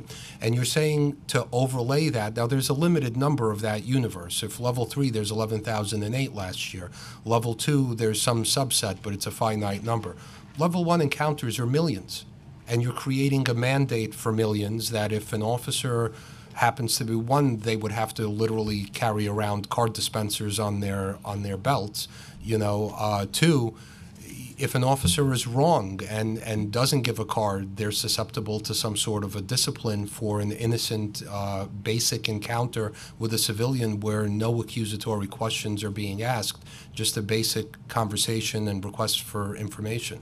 I mean, I, I, agree to disagree, but there are 51 council members. We all have to print cards, and in our travels on the train and other places, we encounter constituents all the time who may have complaints, and we could give out a basic card for them to call the office if they have information or complaints. I, I don't see why it would be hard for Well, I mean, those I who can protect certainly- and serve the community to do the same thing. I thing. can support a bill that would mandate that you give out a business card every time. know. Uh, well, we, we wouldn't need these mandates if we didn't have bad stops. But again, I mean, we, we encourage our officers to we encourage our officers to give out the cards, and we do do we do. Yeah, do- and I, and I do, I do want to give props to the 105th precinct. I had a, I, what I believe a sanitation truck hit my car uh, when they with the plow. Anyway, that's another story for another day. I, am not even going to go after the city for this because it probably I'll probably be 50 by the time um, we even settled. Um, so yeah, Donovan had to come out of uh, pocket for dollars. But anyway, that's another story for another day. But they did give me a card after the interaction. Mhm. I, again, we I mean, I was shocked I got a card, but I got a card. Well, I, I, I don't I don't think, I don't think that think it's I don't, think, it's that shocking. necessarily was a bad interaction. I, I wasn't I didn't feel the need to call CCRB because we because the police department handed me a card. And again, I, I don't think I'm not Yeah. jumping to that conclusion. I just think that Yeah. given the sheer volumes of those encounters, uh, leaving it to an individual to request the card, give it, leaving it to an officer to present a card, in those encounters, once accusatory questions start, it's a mandate. It's already there, and that's uh, that's how we try to separate ev- separate it out. I'm going to go to Councilmember Miller, but I, I will just let me just reiterate: the most common stops in our communities are level one stops, and unfortunately, they're not going to be counted in this. And it's just it's just a fact. My my every interaction I've had with a police officer, from teenager up, has been a level one stop, and unfortunately, that's not being engaged uh, in these bills. You know, but. Um, I, I hope we can have some future conversations about this, especially vehicle stops, which are very common in our communities. All righty, Councilmember Miller. Thank you, Mr. Chair. Good afternoon, gentlemen. Actually, that is a little disheartening to hear what you, what you were saying because that almost defeats the purpose of the legislation. So I, I want to begin with that, I, that of the uh, federal, uh, the precincts that were under the federal monitorship. I believe that we had two in uh, Southeast Queens, and it's the 103 113. Um, while they have, uh, I, I may say that, that must say that they, uh, I think we are light years from where we were five or six years ago. Um, quite frankly, if we were able to educate, we wouldn't have to legislate. And if we were able to change the culture and give people the dignity that they deserve during these encounters, this would not be necessary. How do you, what do you have to give to me to take back to my constituency, saying, to be able to say that um, these this community that had been twice um, under federal monitorship, that there is a mechanism in place to ensure that um, folks are being treated with the dignity and respect that they deserve, that their the implementation of the right to know um, is there is an element of oversight that will assure that that happens as well. Uh, just in general, what, what, do- what, do I have to take back uh, to reassure folks that this process is working? So I think, um, and I'll I'll briefly repeat some of the stuff that um, that we talked about earlier in the hearing, which is you know in terms of rollout, you know we gave examples of how we took the bills uh, seriously, and once the bills were passed, and we we you know we participated in the negotiations over the bills, but once the bills were actually passed. We self-initiated a pilot program. We did focus groups with police officers and their supervisors to ensure that they actually understood what their obligations were under the law. What we didn't want to do is wait until October 19th of 2018 and say, you know, issue a directive to be read out loud and say, okay, here are your obligations now. We understood that this was a little complex. There was a consent to search policy. There was co- contact card mandates of where you were obligated to give out contact cards. So what we did was um, we wound up uh, we ran pilot programs to see if the training we were doing which was roll call training whether the officers in the four precincts that we piloted whether they understood what what was going on. And what we realized was is that the training could have been better. They didn't really it didn't seem like they really understood what their obligations were under the law what we did after that was created internet internet-based training that was completed by officers before October 19th of 2018. That internet-based training had quizzes attached, so you wouldn't get credit for completing that until you passed the quizzes. Then we did roll call training. We trained our training sergeants to then go and train their troops at roll call. Then we implemented training for future trainings. That wasn't this you know, pre-rollout training, but ongoing. For for example, our recruits in the police academy, every recruit, recruit class coming out of the police academy is going to learn right to know. Every officer that's going to get assigned to a plainclothes detail, part of the plainclothes training is going to be contact cards. That's from now and going into the future. Um, uh, another example is uh, what was the uh, promotional training. Sergeants and lieutenants when they um, when they get promoted and they have to take a class in training, they're going to get uh, right to know training, and that's from now until ongoing. And then in service training, where officers go back to the police academy and get trained, we embedded that we embedded right to know into that in-person training. So these these are ongoing trainings that aren't only upfront before the start date. So we did the upfront before the start date, but then we made sure we embedded it to reinforce officers on what their obligations are, reinforce among supervisors that they know what to expect of their officers.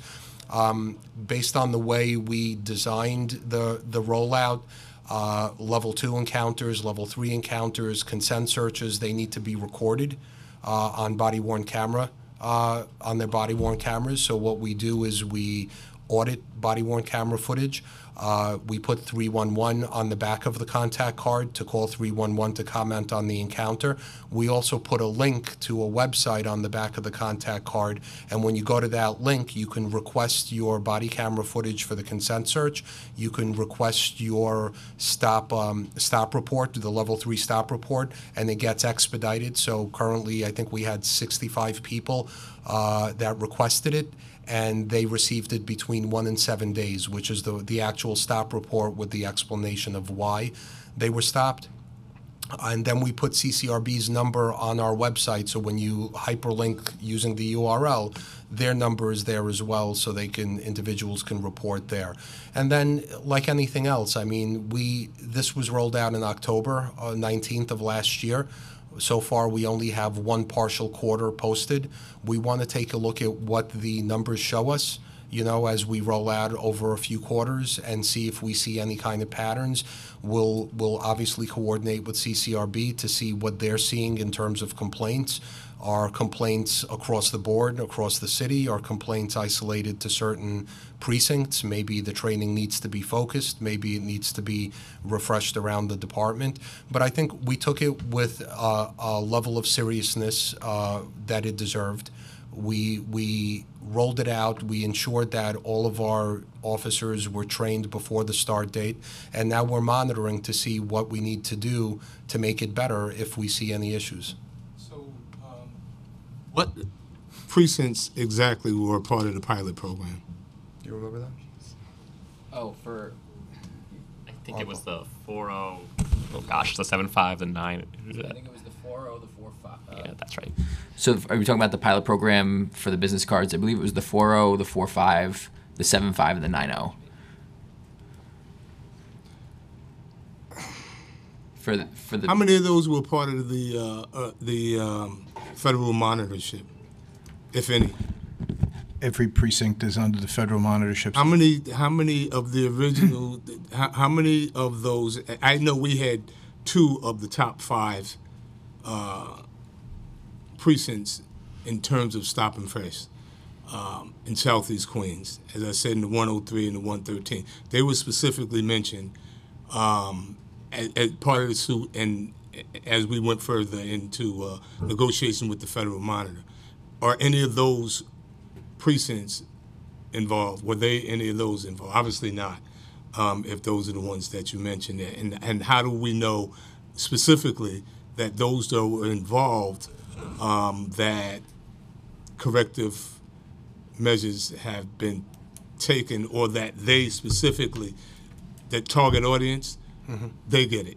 So I, I, I want to clarify what this pilot was. This pilot wasn't required in law. It wasn't asked of us. We did it ourselves for one reason to see if the training that we intended on doing department wide for right to know training, if the officers actually if it was sufficient. And what we learned in the precincts that we did, and obviously we didn't do it in the precincts that you're talking about. In the four precincts where we did it, we recognized that there was confusion, that the officers were not clear on when they were obligated to give a contact card. And this is before the October 19th start date. This was early on. So we gave ourselves enough time to test it out to see if the training we were doing was sufficient, to test out how many cards should we expect to print for officers. And based on that, we realized that the training could have been better, and we improved the training for the department-wide training. So, thank you for that. But are you saying that that the understanding with internally within the department there was that the universe was larger than those that were in directly involved in the federal monitorship or in the lawsuit that led up to it. Um, and so just to deal with those precincts, it, it wasn't enough that that you, you you wanted to go outside of there and, and, and make sure that you were addressing the entire universe of those that are going to come in contact and be a part of this uh, as well, which I think is a problem that we have not addressed specifically um, those precincts that that had um, the greatest uh, amount of, of stops during the stop, question, and frisk. But then um, I, I want to talk about again. Uh, you talked about the working group and those that were involved in, in, in kind of developing and cultivating what this program would look like.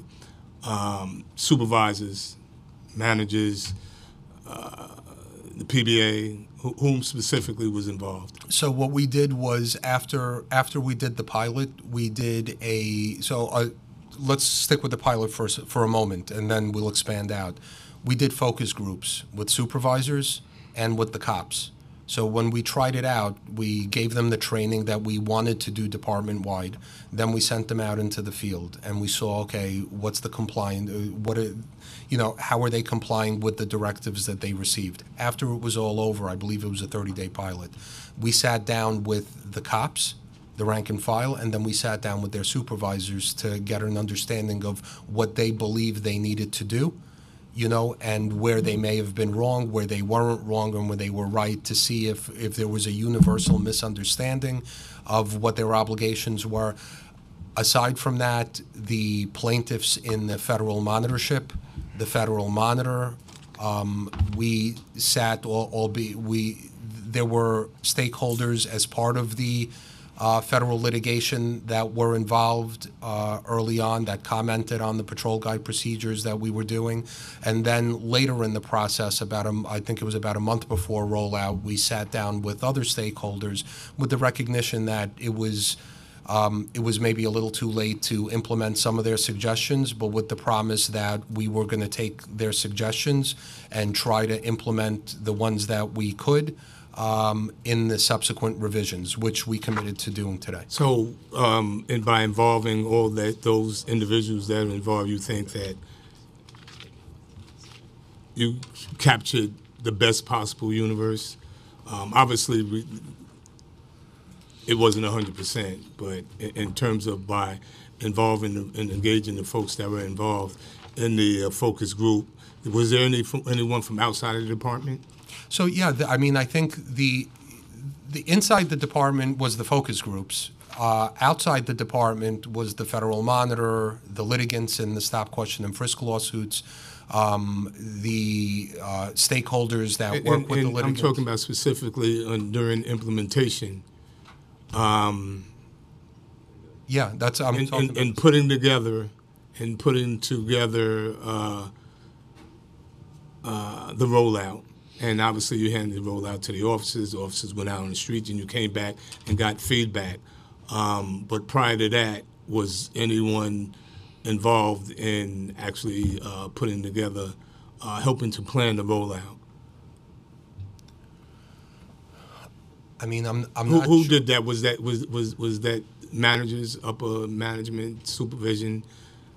I, I mean, on obviously on that ultimate level, it would have to be supervision, and uh, it would be supervisors and managers. But in order to get to that place, we're taking the input from the troops on the ground in order to develop a better policy. So the like as I said, the the first the first approach was let's do roll call training. We realized from our troops on the ground that that's probably not going to be sufficient. We're going to need to do more. We worked with the litigants and the stakeholders and the federal monitor to embed because we needed to embed this training and, and this procedure into the patrol guide. That's At what point did that occur? That was, uh, I mean, very early in. Yes, so I think that the portion with the federal monitor and plaintiffs was on the in-service trainings and the recruit trainings, and that was pretty early. I think we did that.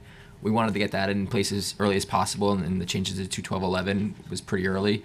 Um, and then when we met with other advocacy groups, that was relatively late, maybe a, a month, a few weeks before the implementation, and that's when Oleg said we would. Some of the comments they had, we didn't have time to make changes for, but we're gonna on round two, I guess, make those changes. The pilot happened in April of 2018, and in order for us to get that going, we had to get approval from a lot of the, the people in the in the monitorship. So Mhm. a lot of uh, consultation happened prior to that. So we're satisfied that this process here allowed us to capture the the greatest universe in terms of um, uh, in, in terms of the rollout, but making sure that um, we had the best understanding training uh, of the officers that were going to, to, to be involved. And what does that I know you said that supervisors and, and, and individuals being promoted. Um, does that mean everyone except for those who are sitting permanently behind the desk that are ultimately going to um, be trained in the rollout here? I mean, yeah, I, yeah. I mean, I think the, everybody's been trained. I mean, the goal obviously up front was the people that. When you have- say everybody, who's everybody? Well, the department uni- uniform uniformed officers, but the the I mean the way we staged it and the the, the goal was and supervisors every supervisor yeah, yeah and the goal was to train the individuals that have contact routinely with the public first to ensure that Right.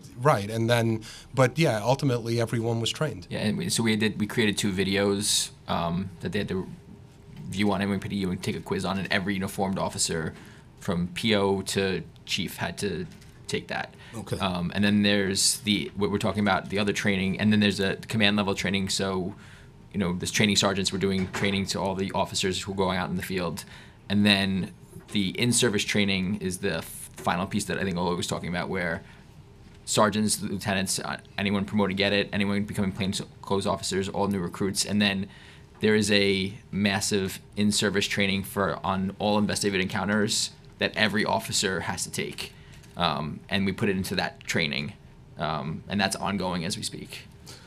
So let me just jump off that for a moment before I return it to the chair, and and and, and forgive me if you have uh, spoken on this already, but I wanted to talk about um, the last public report and the number of searches that were documented or that had been consented, and what were the findings on that?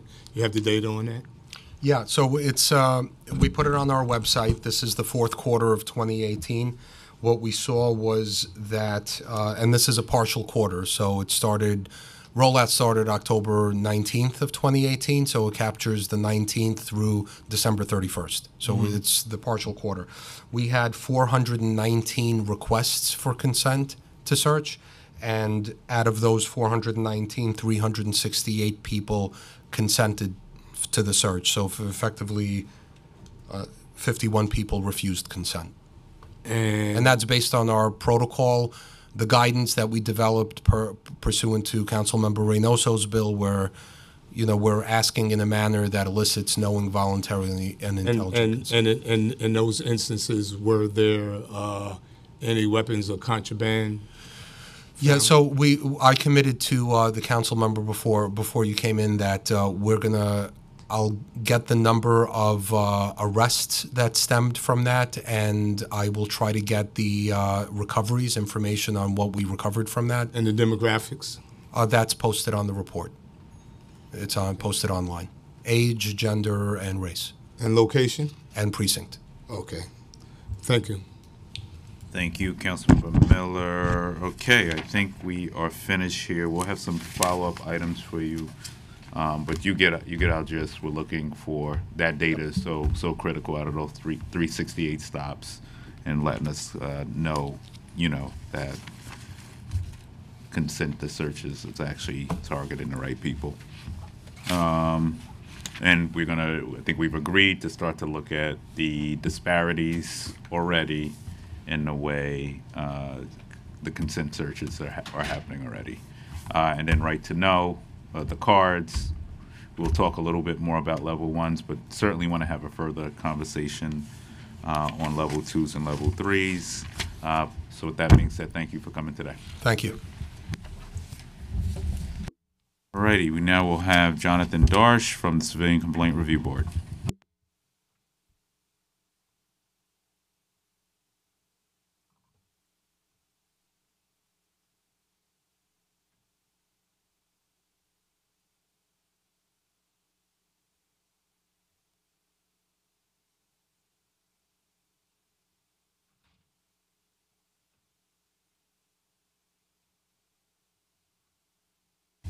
Alrighty, you may begin.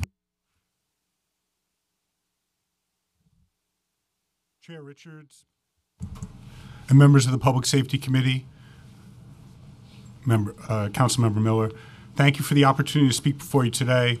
I'm Jonathan Darche, Executive Director of the Civilian Complaint Review Board.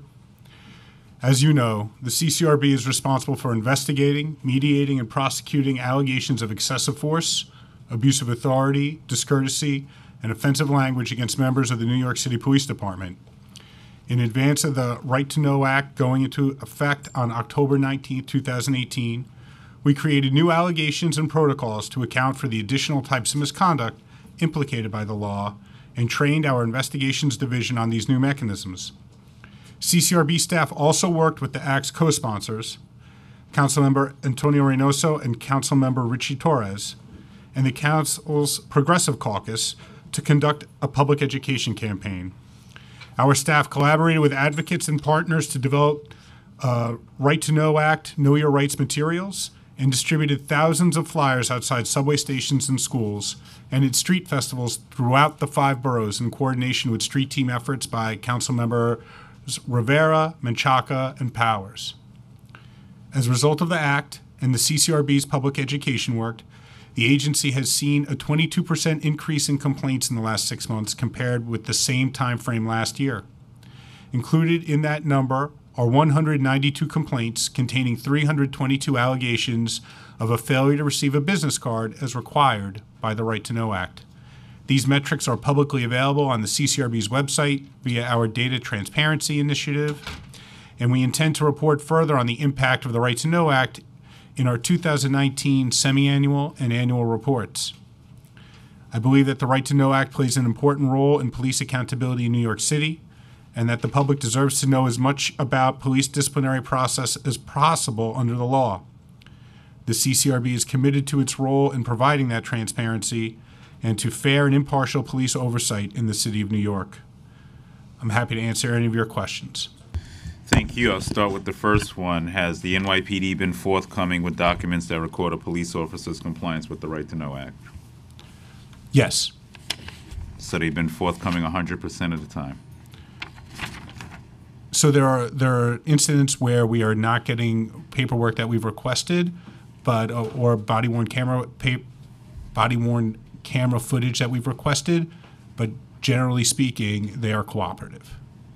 It's not a it, it's not a systemic problem so far. Okay. What does that mean? So out of how many, do you have a sample, a number you could, so that there just maybe two cases where you haven't got out of a 100 or? So are you talking about just with regard to the Right to Know Mhm. Act, or I we'd have to get you that number. I just don't have it in front of me, but I'll get it for you. So you said they have been compliant when it, when it's come to the Right to Know Act? So it's not specific that they're not giving us Right to Know Act information. There, it is. I know hundreds of different, right, I get it, okay. Have there been any instances, instances where you're learning through investigation that there are violations of the Right to Know Act? So, right now we've it's it's a very short amount of time that the Right to Know Act has been in effect with regard to our investigations. So, uh, if you look at refusal to provide name allegations, uh, there have been 150 such allegations since the Right to Know Act went into effect, and we've only uh, been able to close one of those allegations so far on the merits, uh, and that was unfounded by body worn camera footage. Uh, and that that case also had a uh, a refusal to give shield number allegation associated with it, and that allegation was also unfounded, mostly due to the body worn camera footage we received on that case. Uh, And shouldn't they all, all these encounters be on body worn cameras? They- unless so the we encourage if you people if you feel that you've been uh, the victim of misconduct by someone not following the the right to know act to make a complaint with the CCRB but not everyone who makes a complaint was entitled to a card under the right to know act. And so it may have been that the person had an encounter with the police. They wanted they they thought they were entitled to a card. They did not ask for a card and they did not get a card. So in that case they there would have been no obligation to record it Right, and, and just go through, you said out of 150 cases, you've received 150 complaints. we've re- received 150 allegations, Allegations. some of those might have more than one uh, there, some of those allegations, there might be more than one of them in a particular complaint. For example, if uh, I was walking down the street and I encountered three members of service who stopped me, I might allege that all of them should have given me a card or all of them should have told me my, their name. Um, what are you able to do with the information on a lack of compliance with the right to know?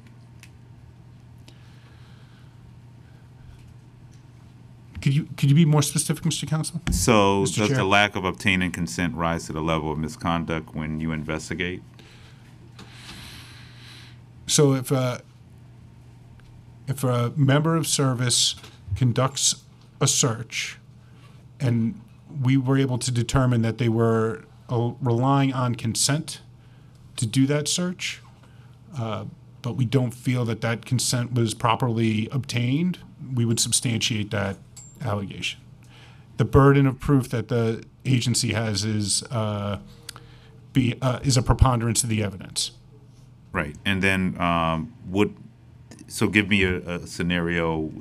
What level of discipline would CCRB then recommend to the commissioner on something like this? So the the factors that we take into account when the board is recommending discipline are the allegation uh, that has been substantiated, the member of services disciplinary history and rank within the department, and then just the totality of the circumstances. So uh, if if the member of service who has a if if the allegation is failure to give a business card upon request, and the officer has uh, no disciplinary history and is a relatively low tenure, uh, and there's nothing else remarkable about the case, it is likely that that member of service we would recommend training. If we're talking about a search of a person or search of a home, uh, and or if the respond or if the subject officer is a, of a longer tenure and higher rank, it is more likely that there'll be more serious discipline recommended, such as a command discipline or even charges, especially if we're talking about search of a home. Right, and let's move from consent on business cards. Do you is it similar, or what are your thoughts around uh, handing out business cards as well if if uh, an officer doesn't supply a, a business card?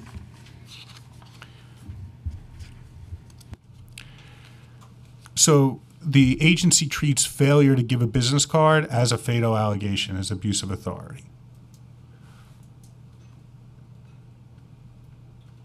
And you spoke of an increase uh, specifically, I think, in your testimony. Uh, you stated there's been a 22% increase in complaints in the last six months, and that's attributed to, you're attributing that to Right to Know?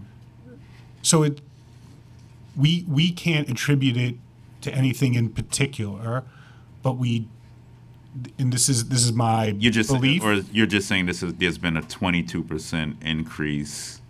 And what we know has changed in the last six months has been the implementation of the Right to Know Act and the public education work that the agency's outreach unit did in conjunction with many city council members and frankly a, lot of staff members, not just from the outreach unit, chipped in to help with that uh, outreach work. And, and go through your, your outreach work, and I'm very appreciative of the work you're, you're doing in our district. But what does a, a Right to Know Act campaign look like right now? Are you working with stakeholders and local communities to get the word out? Are we positive that everyday New Yorkers know that uh, they have the right to know? So I, I think there those are two separate questions. I know that my staff has been working very hard in conjunction with uh, stakeholder groups and with members of the council to make sure that as many people know about the Right to Know Act as possible. But uh, from what I have heard from advocates and from uh, you know from people in meetings that it is not as well known as it needs to be. What can we do as a council or as a city or as an administration to ensure that the public uh, knows that these laws are actually in effect? Does it mean more money? Do you need? I mean, I'm sure agency will take more money. I don't know any agency that won't. Um, but but what could we do to make sure we get the word out a little bit more? Can you go through some examples of some campaigns that CCRB is doing at the moment? So I'll. I'll. Yes, we would take more money if the council gave us more money, uh, but the our outreach unit really works very hard to go to uh, schools, go to after-school centers, uh, go to community groups, go to libraries where there are people gathering. Uh, the CCR outreach teams will be there, trying to make sure that people know uh, not just about the Right to Know Act, but about the CCRB, and that we're here to take their complaints, investigate them, mediate them if they so choose, and if there's uh, misconduct that's been substantiated and charges are recommended, prosecute those cases. Uh, how big is your outreach team? Uh, we have a director and five uh, outreach coordinators. And I'm assuming there are some challenges, just as my office has challenges with reaching a, a, a larger universe. I mean, we do what we can do with what we have, right? Um, but if you're talking about 10 million New Yorkers, how does six people reach those? Six people reach 10 million people.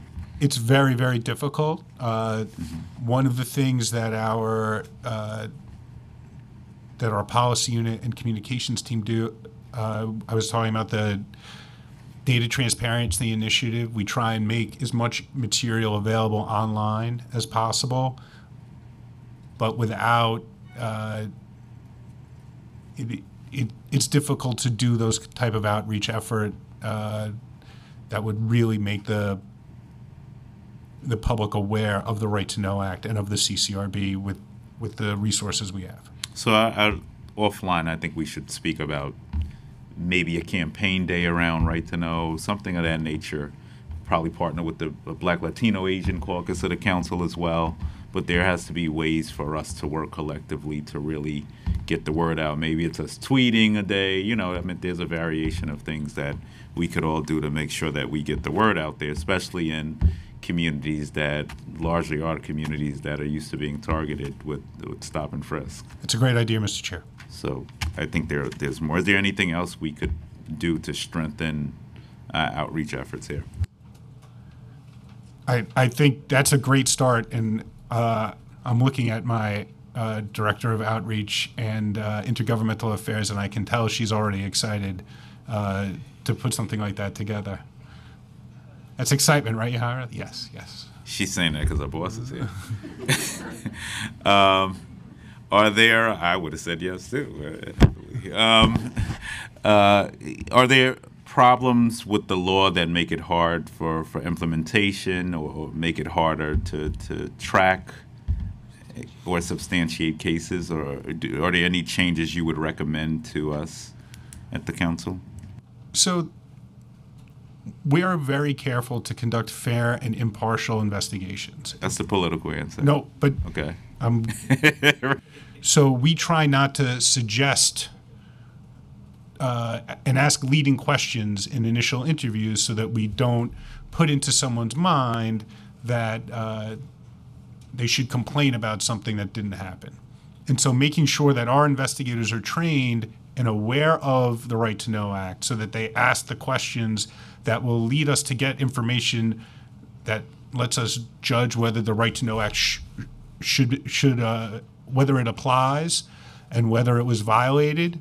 The you know we we feel like we're good at it, but we need to do we need to keep reviewing it and making sure that our people are are on top of it. And I understand that you have to somewhat be impartial, but I'm assuming your investigators would know based on, and they've all been trained in what to look for here, correct?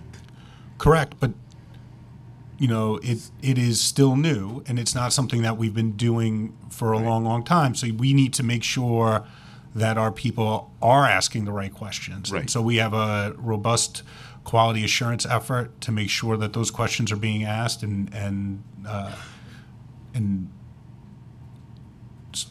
so that's what we've been doing to make sure that uh, we are doing our job as the main uh, avenue for oversight of the NYPD, especially for civilians who have individual complaints that they're making, uh, that their cases are fairly heard. Okay, and I don't want to go in circles, but you said only one case so far was substantiated out of 150. And those 150 But that- but that's- were a variation of different complaints. So that's that is uh, because there's a long process involved. So those aren't 150 cases that are closed. No, I get That's that. 150 cases we've received since October, and we've only had one substantiated case out of that 150. But that's because we have we have still have a lot more those cases are still in the. And when do we anticipate we'll make progress, which I know each case is different, on the 149 left? So I, I, I would like to think that certainly by the end of this year, those those cases would be resolved, and we could accurately report to you on what the disposition of those cases were. And, it- and just and forgive me, today it's been a long weekend. Out of those 149, those were right to know specific violations. So, the, uh, in my, in my testimony, I referenced 192 complaints containing 322 allegations of failure to receive a business card as required by Wait, the say that again. How many? 300 22 allegations allegations, failure. to receive a business card. And that was, and, and those complaints were just specifically on that. Correct, because those are the ones that I can tell you are definitely related to the Right to Know Act, whereas someone just complaining that they were searched improperly, they might not have realized that that right was even implement implicated by the Right to Know Act, but we're still investigating it.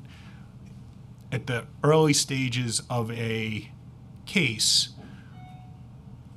we don't we don't hold a civilian responsible for knowing the law that much. So if you just think that you were treated badly, call the CCRB, tell us what happened, and then we can evaluate the case. So it may be that the person wasn't searched pursuant to a consent search. It may have been that they were searched, purs- uh, their home was entered and searched pursuant to a search warrant, or the police made an arrest and they made a search incident to that arrest. And so there are different analyses that then follow, and so they wouldn't necessarily implicate the Right to Know Act.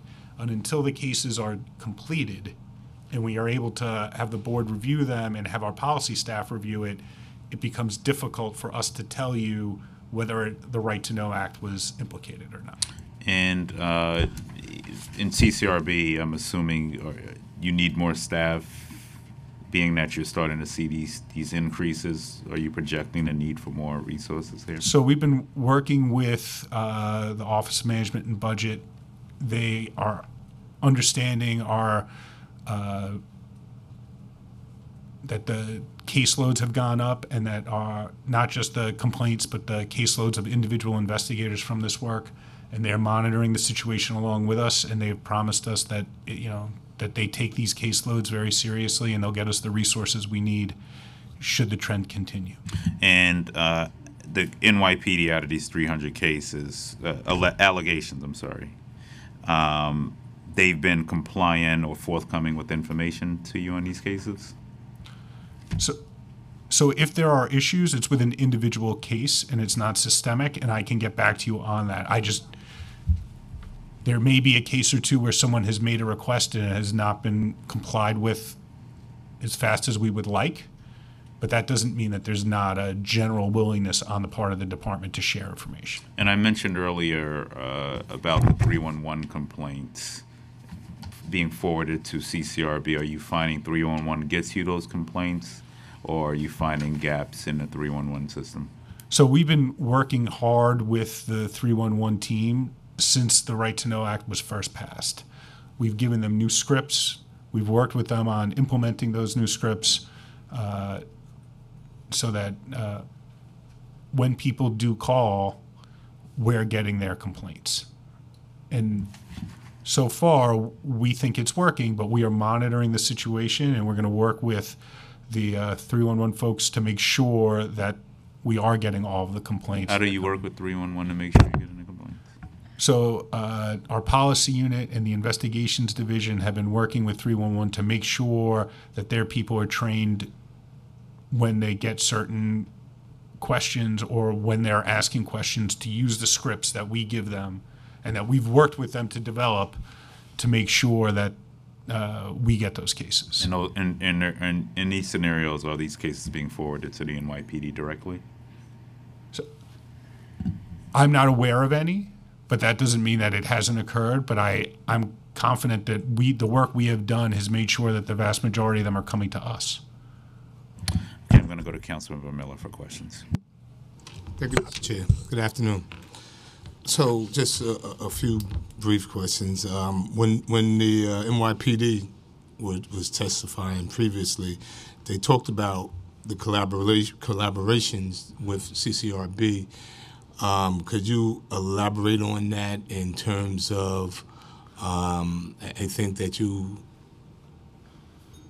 somehow you guys had a part was part of the focus group or played a role in, in the focus group, but more importantly, in terms of after the rollout, um, ha- what kind of role are you then playing on oversight of, of uh, Right to Know? So I I think our most important role uh, with regard to cooperating with the department came after passage and before implementation. Is that we worked with the department and advocates to make sure that the literature we were giving out to people and the information we were giving to uh, to the residents of this city was accurate and uh,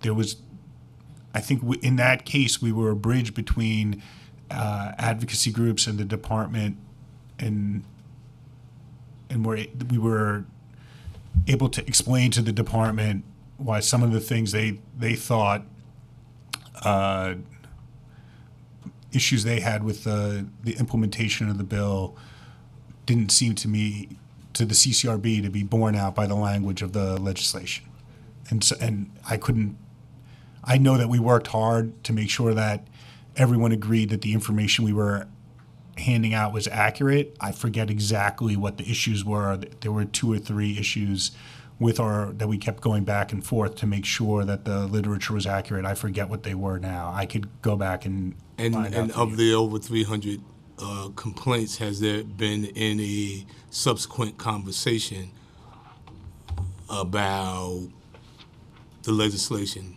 about the rollout and implementation of, rollout uh, of the legislation um, by the NYPD?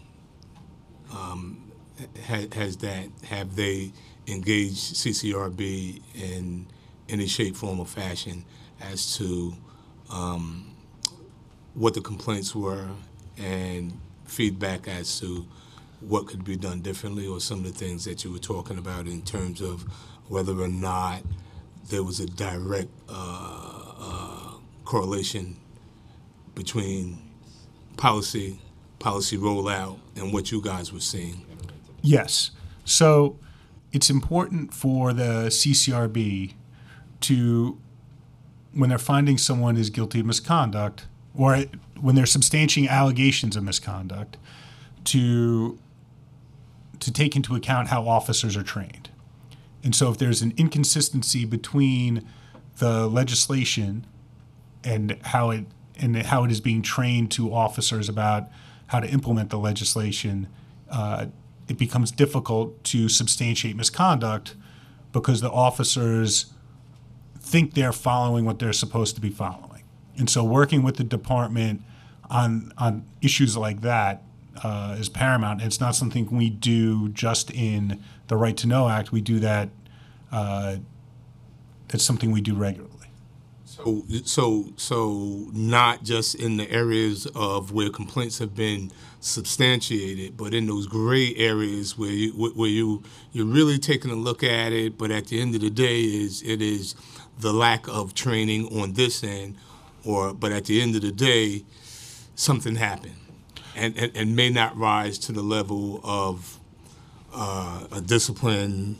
Um, but the fact is that something happened, and and that it is beyond the intent of the of, of, of, the policy of the law, and um, while we are not recommending, uh, we have not found conclusively that this person was in a violation, but this is something that we really need to take a look at. Are you taking a look at those and suggesting to the department that this is really gray, potentially leads to something else? Yes, one of the uh, you know, ins- in- Inspector Cosgrove, who was testifying earlier and is the commanding officer of risk management, one of the earliest conversations I had with him when he first became, I think, I think I became executive director after he became CEO of risk management. So, or it was, was around the, the same time. One of my earliest conversations with him was about how just because the CCRB is exonerating conduct doesn't mean that it is good police work. And so, uh,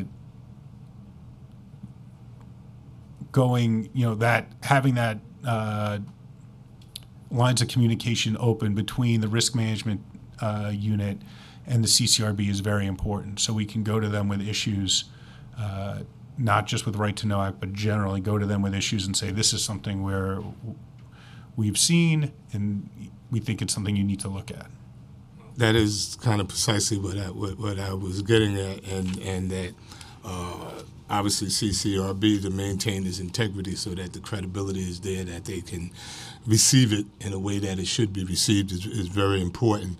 Um, I want to get back to one of the things the, the chair was talking about earlier, and that is how do we reach our target audience and, and whether or not there seems to be a discrepancy over the eight and a half million New Yorkers as opposed to specifically those communities of color, those precincts that are serving, and specifically those precincts that were involved in the lawsuits and the initial uh, federal monitoring. And that is not that that's a handful, less than ten.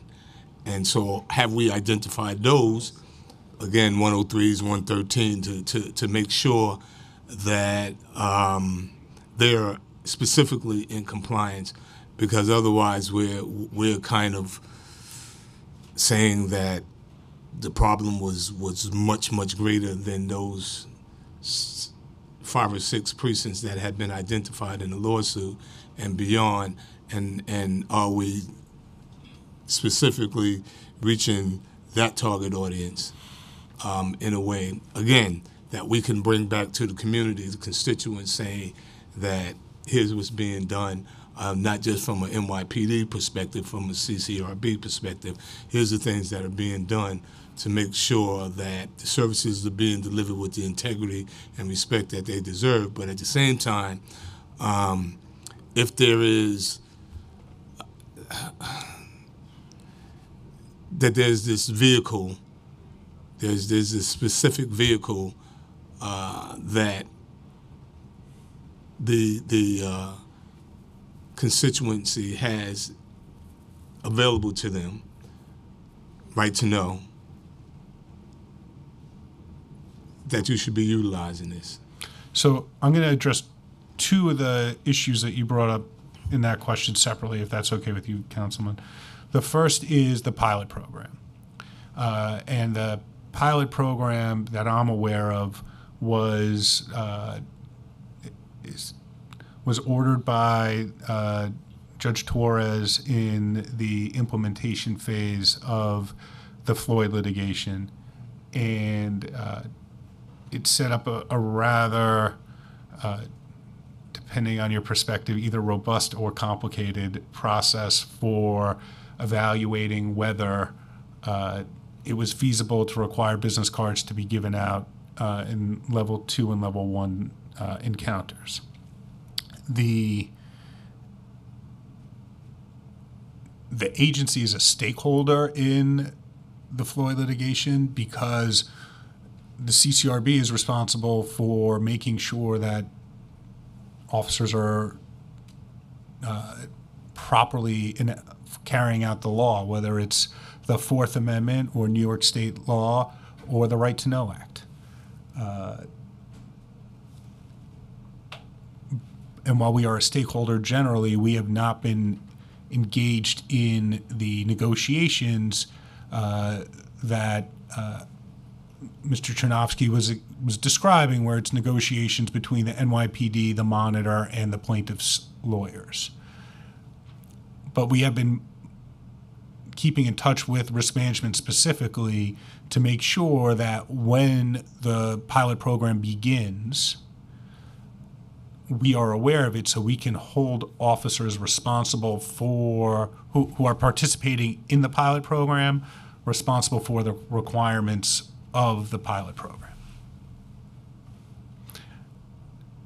but I think there was a second second part to your question. Target specific those uh, those targeted uh, audiences, those those because I, I think again if if we're saying if if we have a pilot program does not which does not specifically include the precincts that were directly involved in the lawsuit, um, in the conversations, in the overall conversations that, that we were, because our communities was involved with the judge, then we then we are looking at a much wider problem if if, if, if that is the case. I'm hoping that, that that is not the case, and I'm more concerned about uh, the fact that we did not have outreach in Southeast Queens. Um, how do we move forward? And one of my one of my concerns going in was kind of the, the, the confusion of, of right to consent the, and, and, and the right to know and, and whether or not we were creating an environment that um, kind of falsely armed folks with with information or law that you know if if, if ultimately if, if they want to search you they're going to search you and there's, there's going to be cause to search you and and what happens in between right? So I, I think understanding the rules of engagement is what's most important here right? And and how do we make that happen? How, how do we then um, reach our target audience? And I know that you have an outreach team, and I, like the chair, uh, uh, certainly making ourselves available, and we do events every week, multiple times.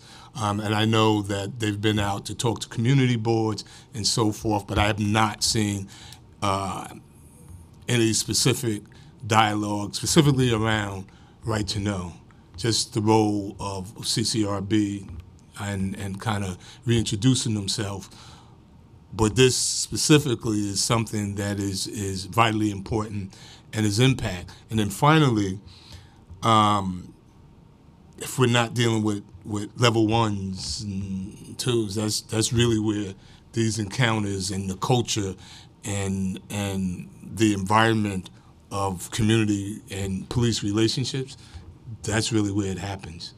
And I think, Chair, that that we're we're really missing the boat if if that happens. Obviously, if you get into a more serious crime, that that leaves the opportunity for things to happen, and and there's all sorts of investigations that happen anyway because of that. But just in these low-level incidental encounters that undermine the integrity of communities and people just keep going, right? You, let me just say this: when you get pulled over, where families get pulled over, right, and and husbands and wives and childrens are taken out of the car, the car's tossed, and nothing happens. They get back in, and you don't know what happened, and you call the precinct. They go, "Nah, that wasn't one of our guys." Right? Those are the things that that really, really undermine the, the a community, the integrity and the fabric of the community. And are we missing something there? Is there a way that this doesn't, but there's something else that, that we can do here to make sure that that this tool that has been created addresses that? So I think uh, the tool that addresses that is the CCRB itself. And so I don't. I think it's important not to let people know. I think it's important to let people know what their rights are under the Right to Know Act. But the most important thing is that people know if you feel that you have been the victim of police misconduct, you should call the CCRB. Calling the precinct, to, it might be a legitimate answer that it wasn't one of ours, it was a different command, or it was a different unit. It was a, a gang unit or narcotics unit. But my the CCRB, our investigators, even if you don't know who the officer was, we'll find out. We're very good at identifying who the officers are. And we it is important that that if we don't have a complaint, uh, we can't investigate.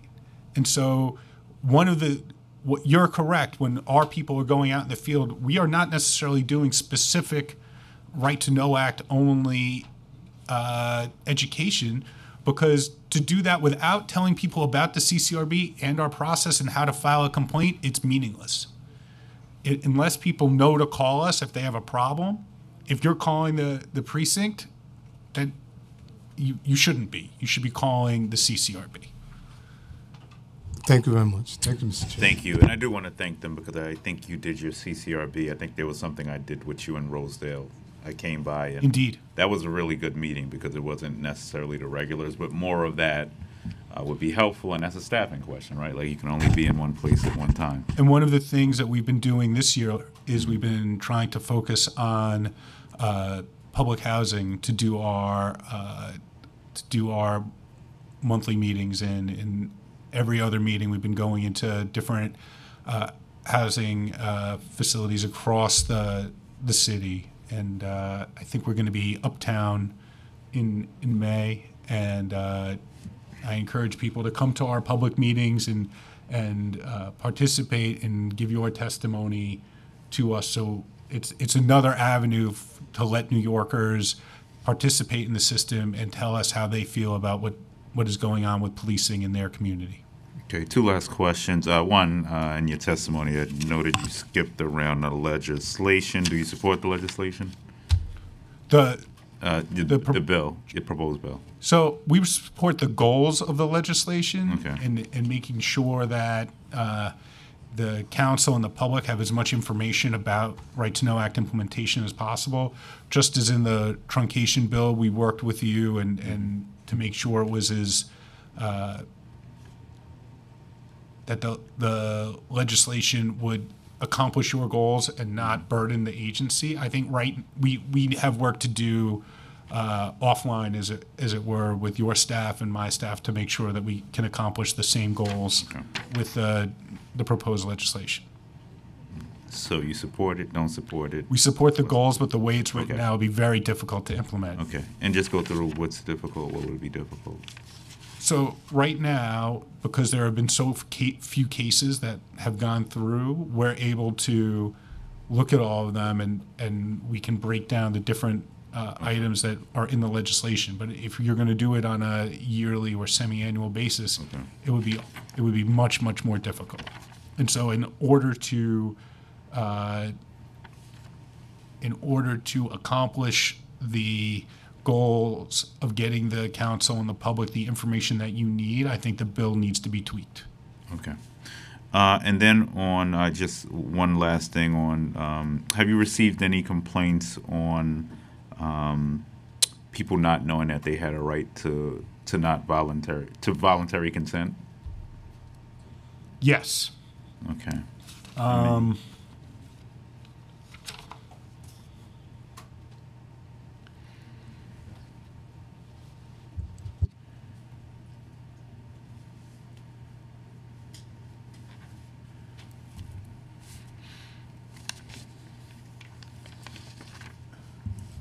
So, as I was describing earlier, it's tough to know the exact number of uh, cases that we've received right now that implicate that because until we've gone through all of the investigative process, we don't know if it was in fact a consent search that was implicated.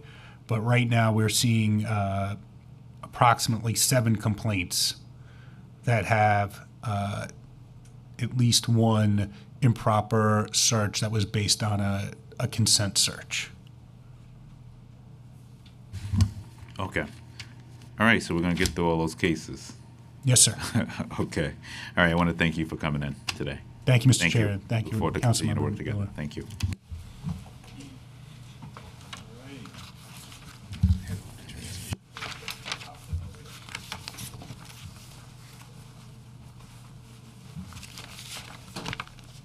All righty, we're gonna call up uh, Greer, Girls for Gender Equity, Anthony Posada, Legal Aid Society, and Michael Sisitzky, New York City, City Liber- Liberties Union, and also Victoria Da- Davis from the Justice Committee, and Delron Small.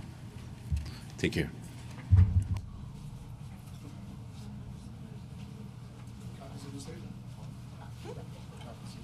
Oh, yeah, yeah.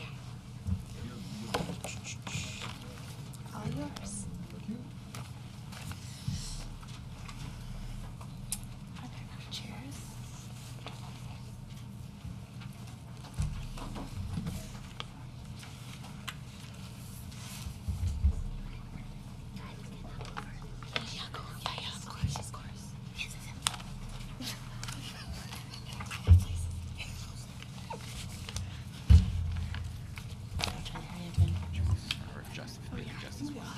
Baby Justice or Victoria? Which one? we better. No, Victoria has to go, but uh, you may want the baby to go first. Oh, okay. Hi, baby. Say hi. okay, uh, I'll start. Thanks for having me. Uh, my name is Victoria Davis. I'm the sister of Delron Small, who was killed by NYPD officer Wayne Isaacs on July 4th, 2016. I'm also a member of the Justice Committee, a grassroots organization that fought alongside many other groups to pass the Rights to Know Act, and a Bronx community member who has experienced a Rights to Know Act violation. This year, on February 20, 27th, I was welcomed He's ready to go. Yes. No, I'm saying he's an activist already. He's ready to go. He's- yeah. he's- No, he's grabbing that mic. He's ready to speak. You, you want you want to All tell right. them about the encounter? He wants to tell you about the encounter. He was there. uh, well, we were walking down the street in our community um, when I saw an elderly woman lying on the sidewalk on West Burnside Avenue. Hmm? Oh, hmm. on West Burnside Avenue with blood gushing out of her head. I stopped to try to help, and a lot of the other community members rushed to help to attempt to aid her as well. Some called 911, others looked around for people who knew her. One community member took off her t shirt and used it to apply pressure to the, to the elderly woman's head. At, one, at that point, an NYPD car from the 46th precinct arrived, and two uniformed officers got out rather than rushing to the elder's aid. They stood on the sidewalk and watched while community members were trying to figure out how to help her. I approached officers and told them they should help the, wo- the woman. They paid very little attention to me and did very little to assist her. At this point, a second NYPD car arrived and two other officers got out. One was in a regular uniform and the other was in a white, a white shirt. I asked the uniformed officer who, appear, who appeared Wait. I asked the uniform officer if they were going to help the elderly woman because her head was still bleeding and only the people of the community were helping. He did not respond. He smirked and laughed. Because of this, I requested his business card, which I know um, I have the right to do because of the Rights to Know Act. And actually, that's what I had told him. Um, rather than producing his card, he said, What card? in a sarcastic tone. I then asked again. He handed me a blank card. It had lines. Actually, I have the card with me. Um, it had lines on it for the officer's rank, name, shield number, and other identifying information on one side, but they were not filled in. I asked him to fill out the card, and he refused, telling me I could fill it out myself in a rude tone. I asked him several times to fill out the card, but he continued to refuse. When I asked him outright for his name and badge number, he ignored me. This was a clear violation of the Rights to Know Act. I felt completely disrespected, and the officer who I was interacted with, interacting with, clearly had absolutely no respect for the Rights to Know Act protocols. For this to happen in the midst of an is that for me? Oh, in, in the midst of an elderly woman bleeding, bleeding profusely on the ground. Uh, I just wanted to make sure that, like, I highlighted there are other members of the Justice Committee who have witnessed Rights to Know Act violations as well. For example, in Jackson Heights, our members have witnessed multiple stops of street vendors during which officers do not give their name, rank, and command at the start of the interaction. In the Bronx, we have also seen officers stop people for alleged fear evasions and not identify themselves. Because of the Justice Committee's experience working in neighborhoods with large immigrant communities, I also want to raise a concern about language access. Time and time again, Justice Committee members who are trained to cop watch have witnessed incidents in which NYPD officers stop community members who are not comfortable with English. Never once have we seen officers use the language line that is available to them. Almost every single time, the officers have stopped non-primary English speakers that our, our members have either witnessed or personally experienced. Officers simp, um, simply speak, talk to talk at them, talk at the community member, uh, the target. I'm sorry, that um, at, at the community member. in English without caring whether or not the person understood what they were saying or being asked of. This raises serious questions for us when it comes to the implementation of the Rights to Know Act, and especially the consent to search law. If members of the community have no idea what officers are saying to them, how can they give informed consent to a, a search? We have no way of knowing how many of the so called consent consented searches the NYPD has conducted since October 2019 were searches of New Yorkers who don't fully understand English or if the officers involved followed language access guidelines.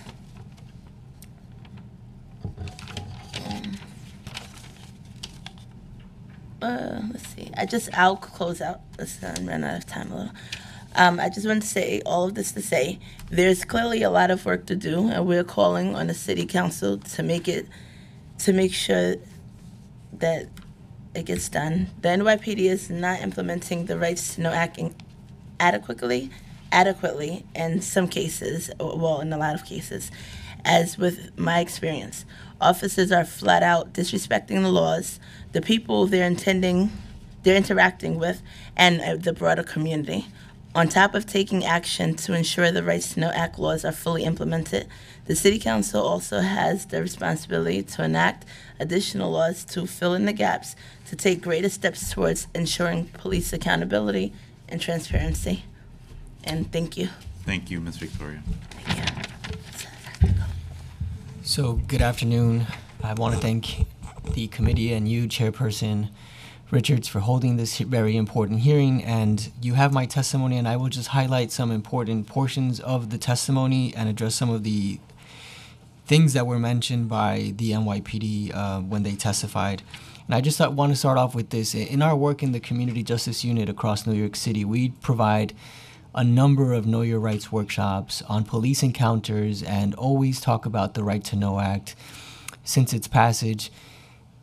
And what we find across the board is that the majority of community members do not know what their rights are. That's that's the baseline that we need to start with and operate with. And and when I after I say that, I just want to mention walk you through a scenario that is a common textbook scenario where we see that the Right to Know Act is not being implemented. So a group of youth are in a park or in a corner. Uh, a police officer smells marijuana or the odor of marijuana and approaches that group of, of youth. At that point in time, that is now a, a level two encounter, right? That officer feels that he or she has founded suspicion of criminality. And no youth that we have encountered in all of the workshops that we have done have told us that police officers have given their business cards when being encountered by police officers in this exact scenario. So when the officer is approaching them to ask that pointed question of what's happening, who's smoking marijuana, and to start to see what what he or she can find out, none of them have been given a, a, a right to know act business card with the name of the officer that's conducting this kind of questioning.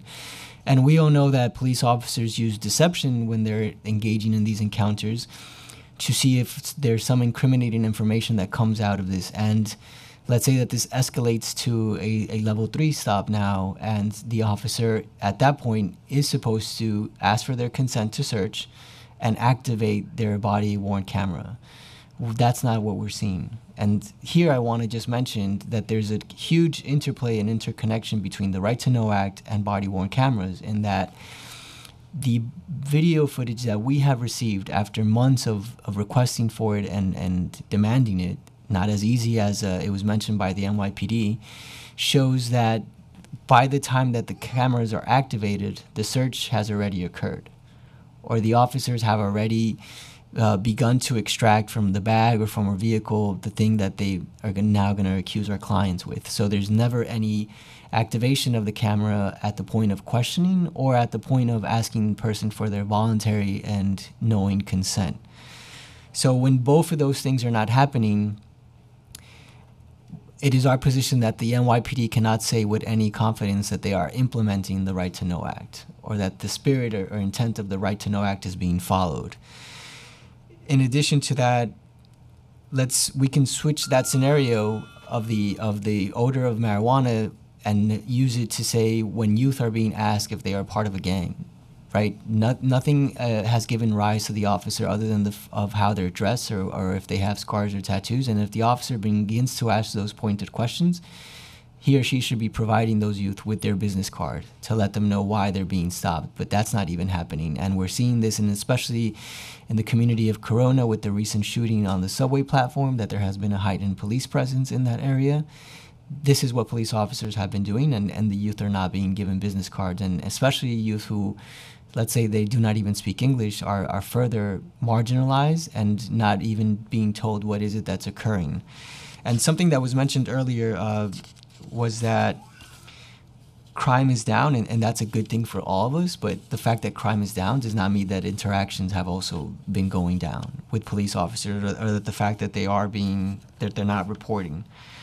Um, also, the court is not an adequate measure or mechanism in which to determine uh, the whether the stop was one that was lawful or if the uh, police provided the knowing voluntary consent request or if they give out their business card because a lot of cases if not 90% of them are resolved through pleas and many of them at, a, at the arraignment stage. So at a stage where there hasn't been any suppression hearing there hasn't been any opportunity to question how the stop took place or the behaviors of the officer.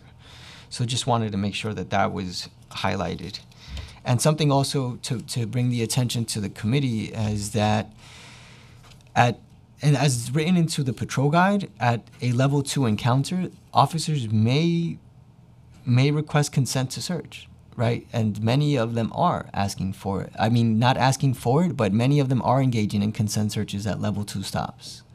So it's not just solely a matter of level three encounters that we need to focus on. And it is unfortunate, as was mentioned by other uh, committee members, that level ones and level twos are not being reported because that is the bulk of where police interactions are occurring.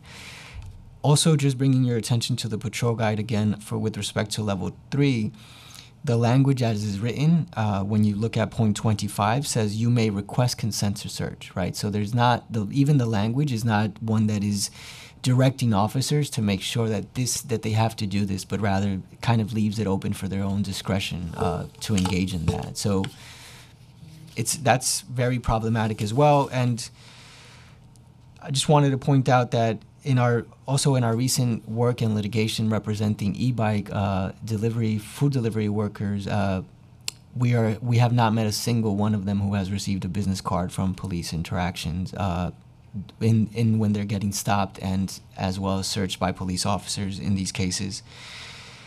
Lastly, uh, something that we did want to point out and that I elaborate further in the testimony is that the right to know act should encompass DNA searches. DNA searches uh, when youth, uh, juveniles, or other community members are being brought over to the precinct and buccal swabs are taken from them. This carries heavy consequences. This is a form of racially biased policing. This goes into a permanent data bank, and people are not being told that they have a right to not consent to that DNA swab being taken from them. When, if this was a case that was in court, the prosecutors would have to have submitted a motion and get a court order to uh, have our client submit to an actual DNA.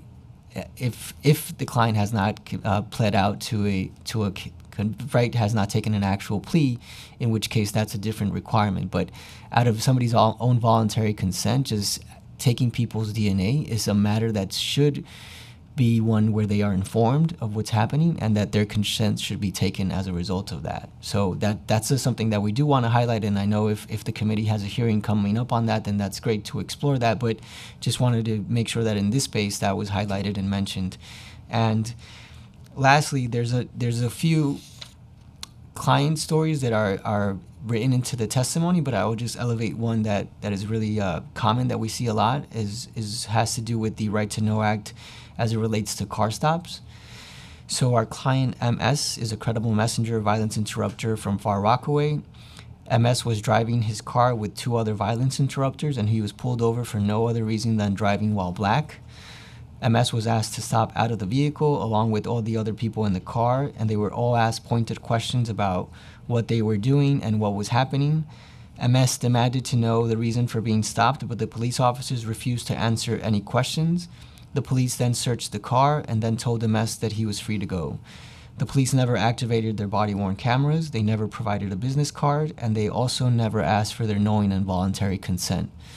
So that just that client story alone triggers all the different ways in which the Right to Know Act was violated and the way in which there was non-compliance.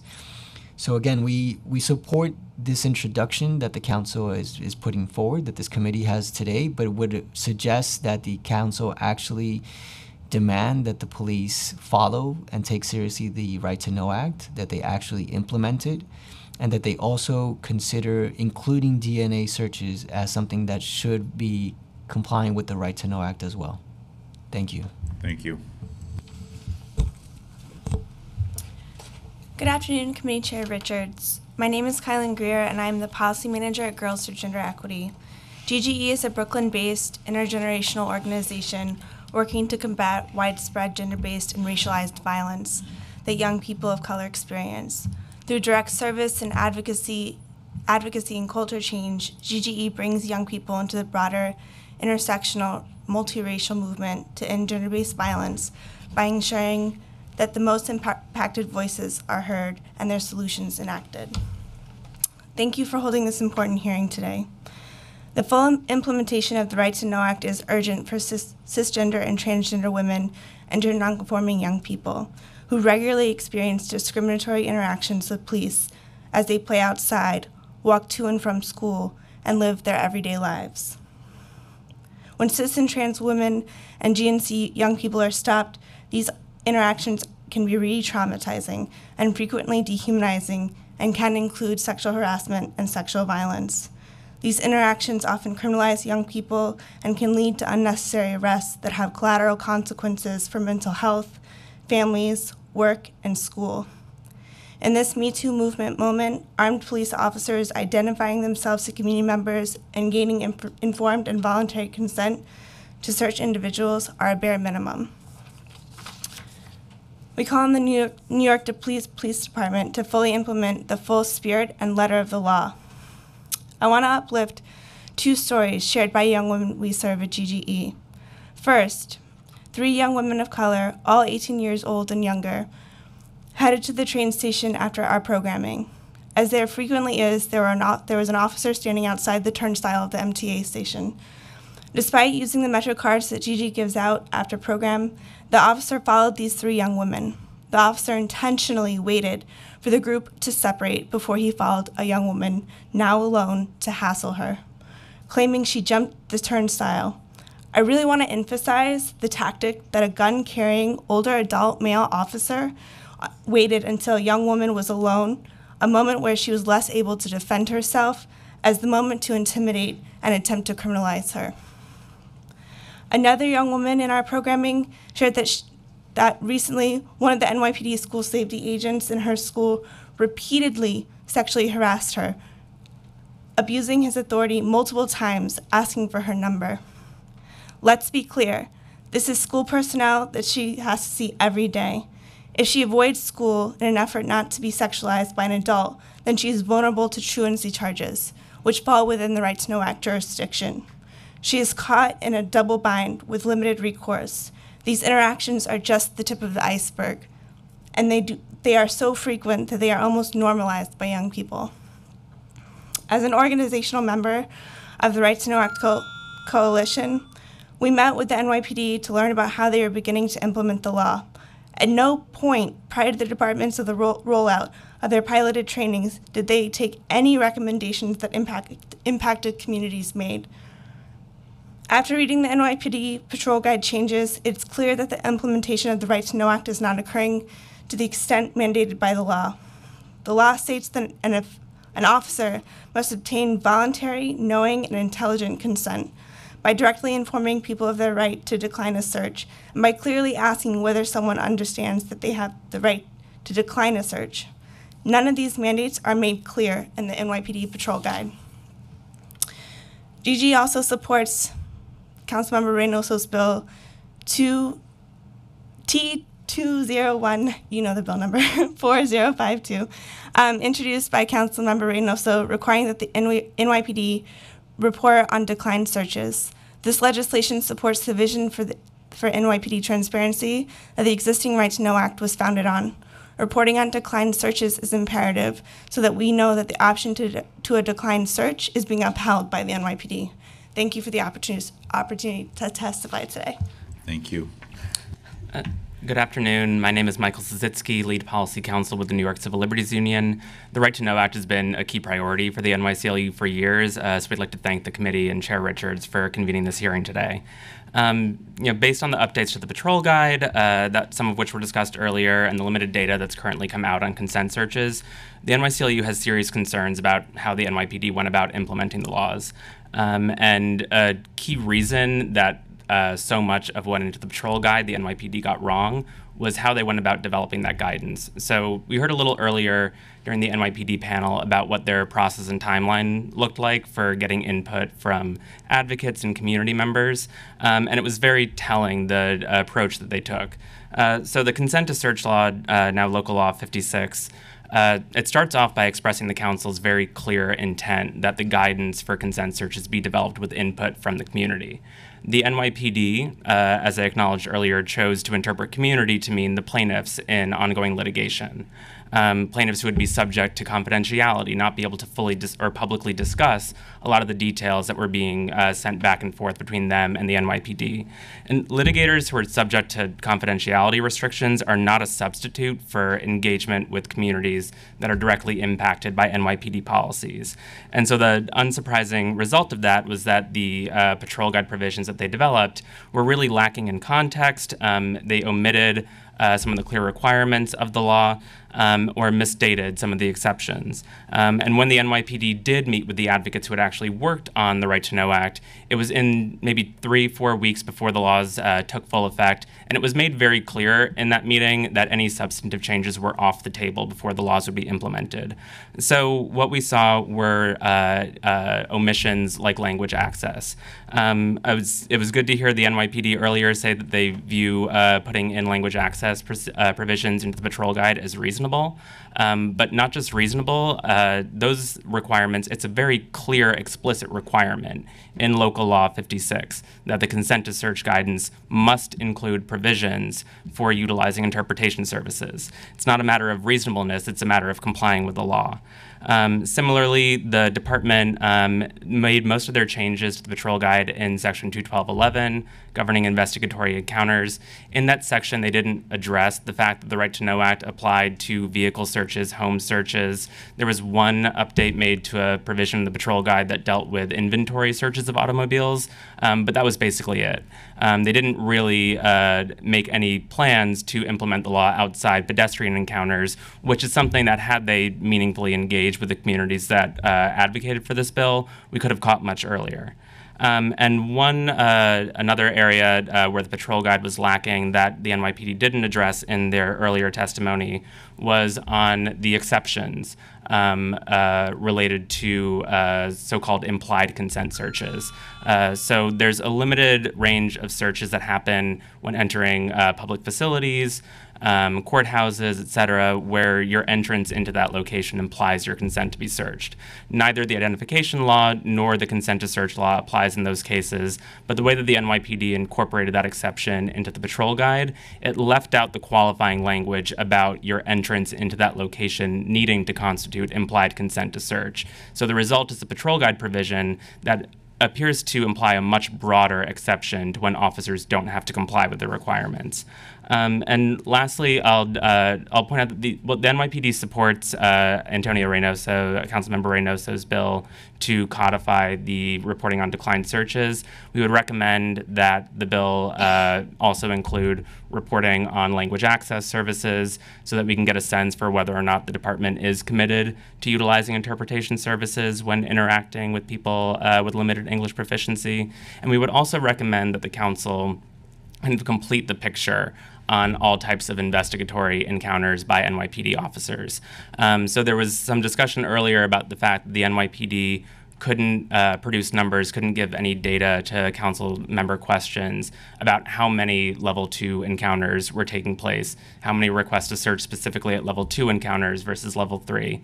Um, and the uh, it, it points to a clear need to get a full accounting of reporting on uh, all types of investigatory and enforcement counters by the NYPD. So we would recommend uh, legislation to require, similar to the way that the NYPD collects and reports data on stop and frisk, uh, to require the NYPD to track and publicly report information on level one, level two encounters, traffic stops, and really uh, get a sense of how policing impacts New Yorkers.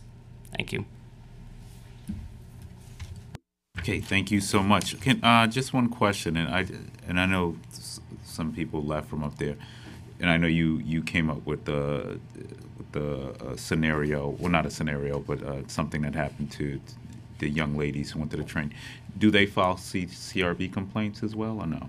Or What does that? Um, we haven't yet filed any CCRB complaints. It's not that we're not open to it. I think um, we are in the process of trying to get young folks trained up on the Right to Know Act and um, the fact that they're able to ask for a business card. Okay. And I would just urge everybody when these interactions happen to make sure that we file them so that they're documented. It just makes our lives easier to at least to track this stuff. Yeah. All right. Thank you so much.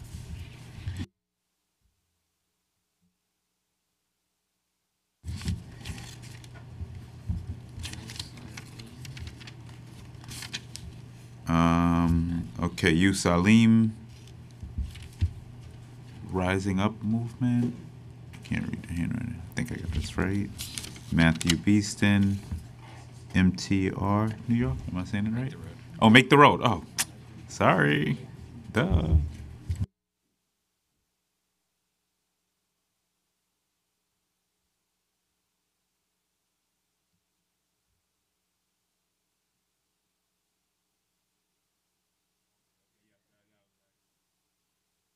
This is Rising Up.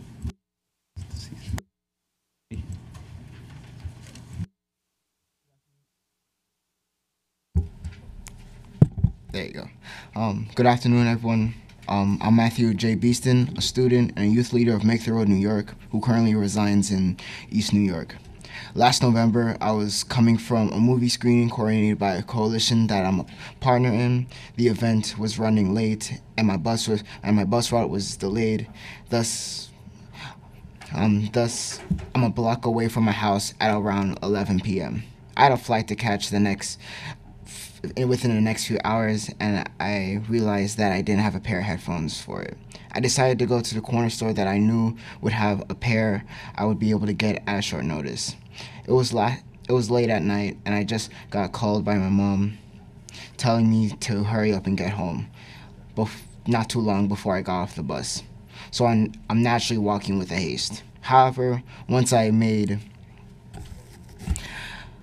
However, once I made it to the middle of the block, a black car with tinted windows stopped parallel to me. I didn't notice this until I hear a man I hear I hear a man's voice call to me and asks where was I going. Unsure of who these people are, I practice my right not to answer and I continue moving. Within a few seconds within a few seconds later, two men burst out of the car and one of them began to beam a flashlight in inches away from my face, bombarding me with questions with while looking through my bag. While while the other man was a few distance away from from me and the man with the flashlight, he was gripping his holster.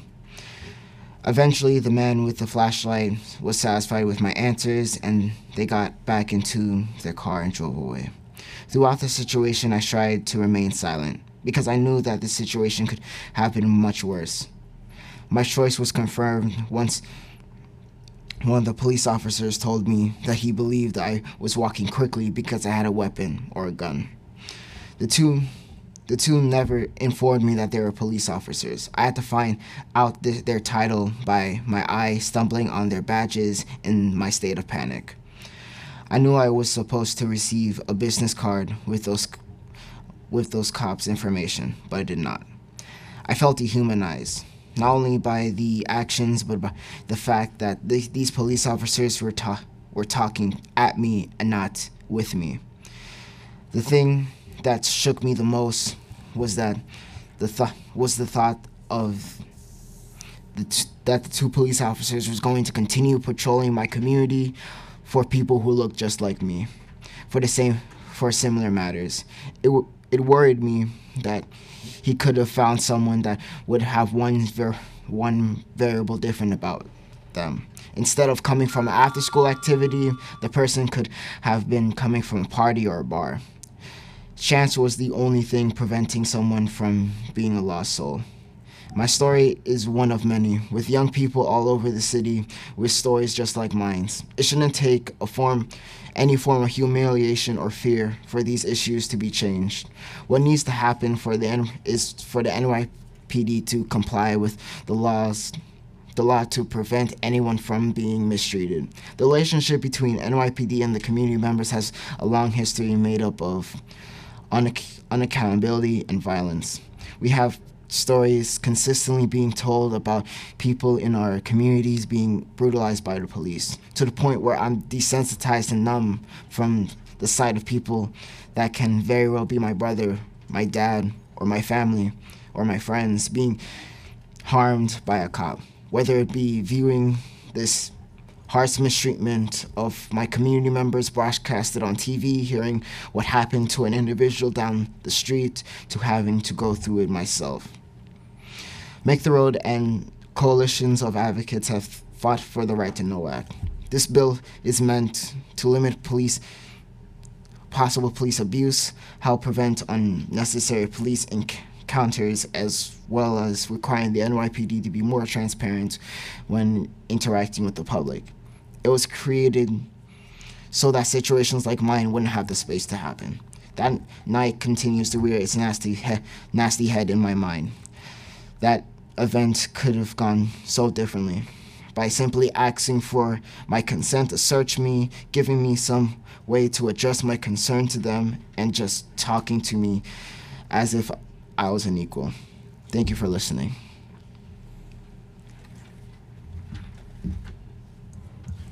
Thank you for sharing that. Um, my name is Yul-san Liem. I'm a co-director of the Justice Committee, but I'm here uh, to read a statement, uh, a testimony on behalf of a member of Desis Rising Up and Moving Drum, one of our ally organizations in Queens. So his sta- uh, Adam's statement is this: My name is Adam, and I am a resident of Richmond Hill, Queens, and a member of Drum Desis Rising Up and Moving.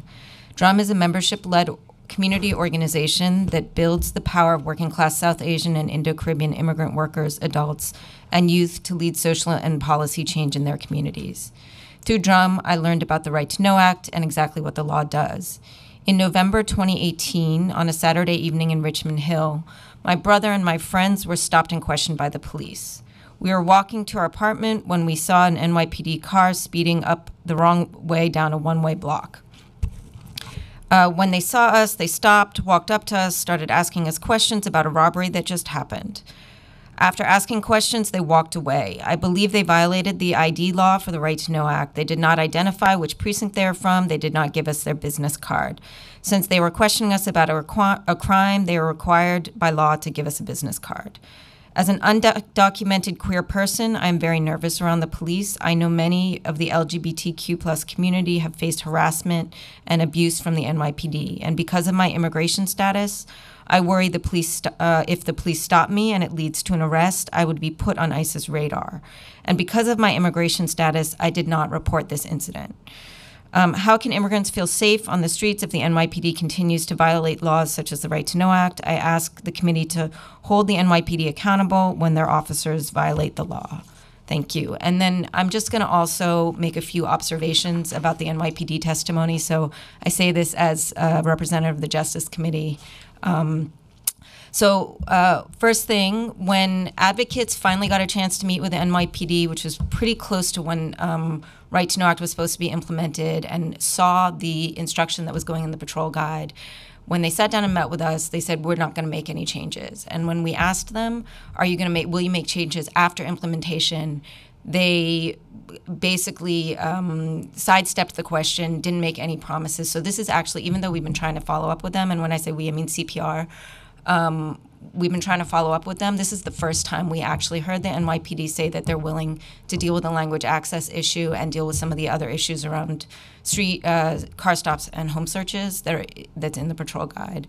Um, I also want to just flag that the way that the NYPD was talking about level one stops, as I think you know, um, is really misleading. That there are many, many times when level one stops absolutely feel hostile, um, where they're asking questions like, Who are you? Where are you going? That's all happens in level one stops.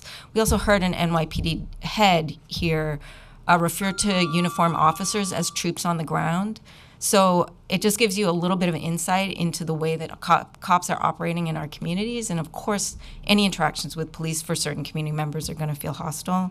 And then the last thing that I want to point out is that um, the federal monitor pilot on level one and two stops does not. Um, require that there's ever going to actually be real reporting on level one and two stops. So it's absolutely essential that the council legislate that there be reporting on level one and two stops. Thanks. Thank you all for coming out today. And, and Matthew, I want to say that I share your story, young man. Uh, the same interaction happened to me at 13. It was my first interaction with the police department.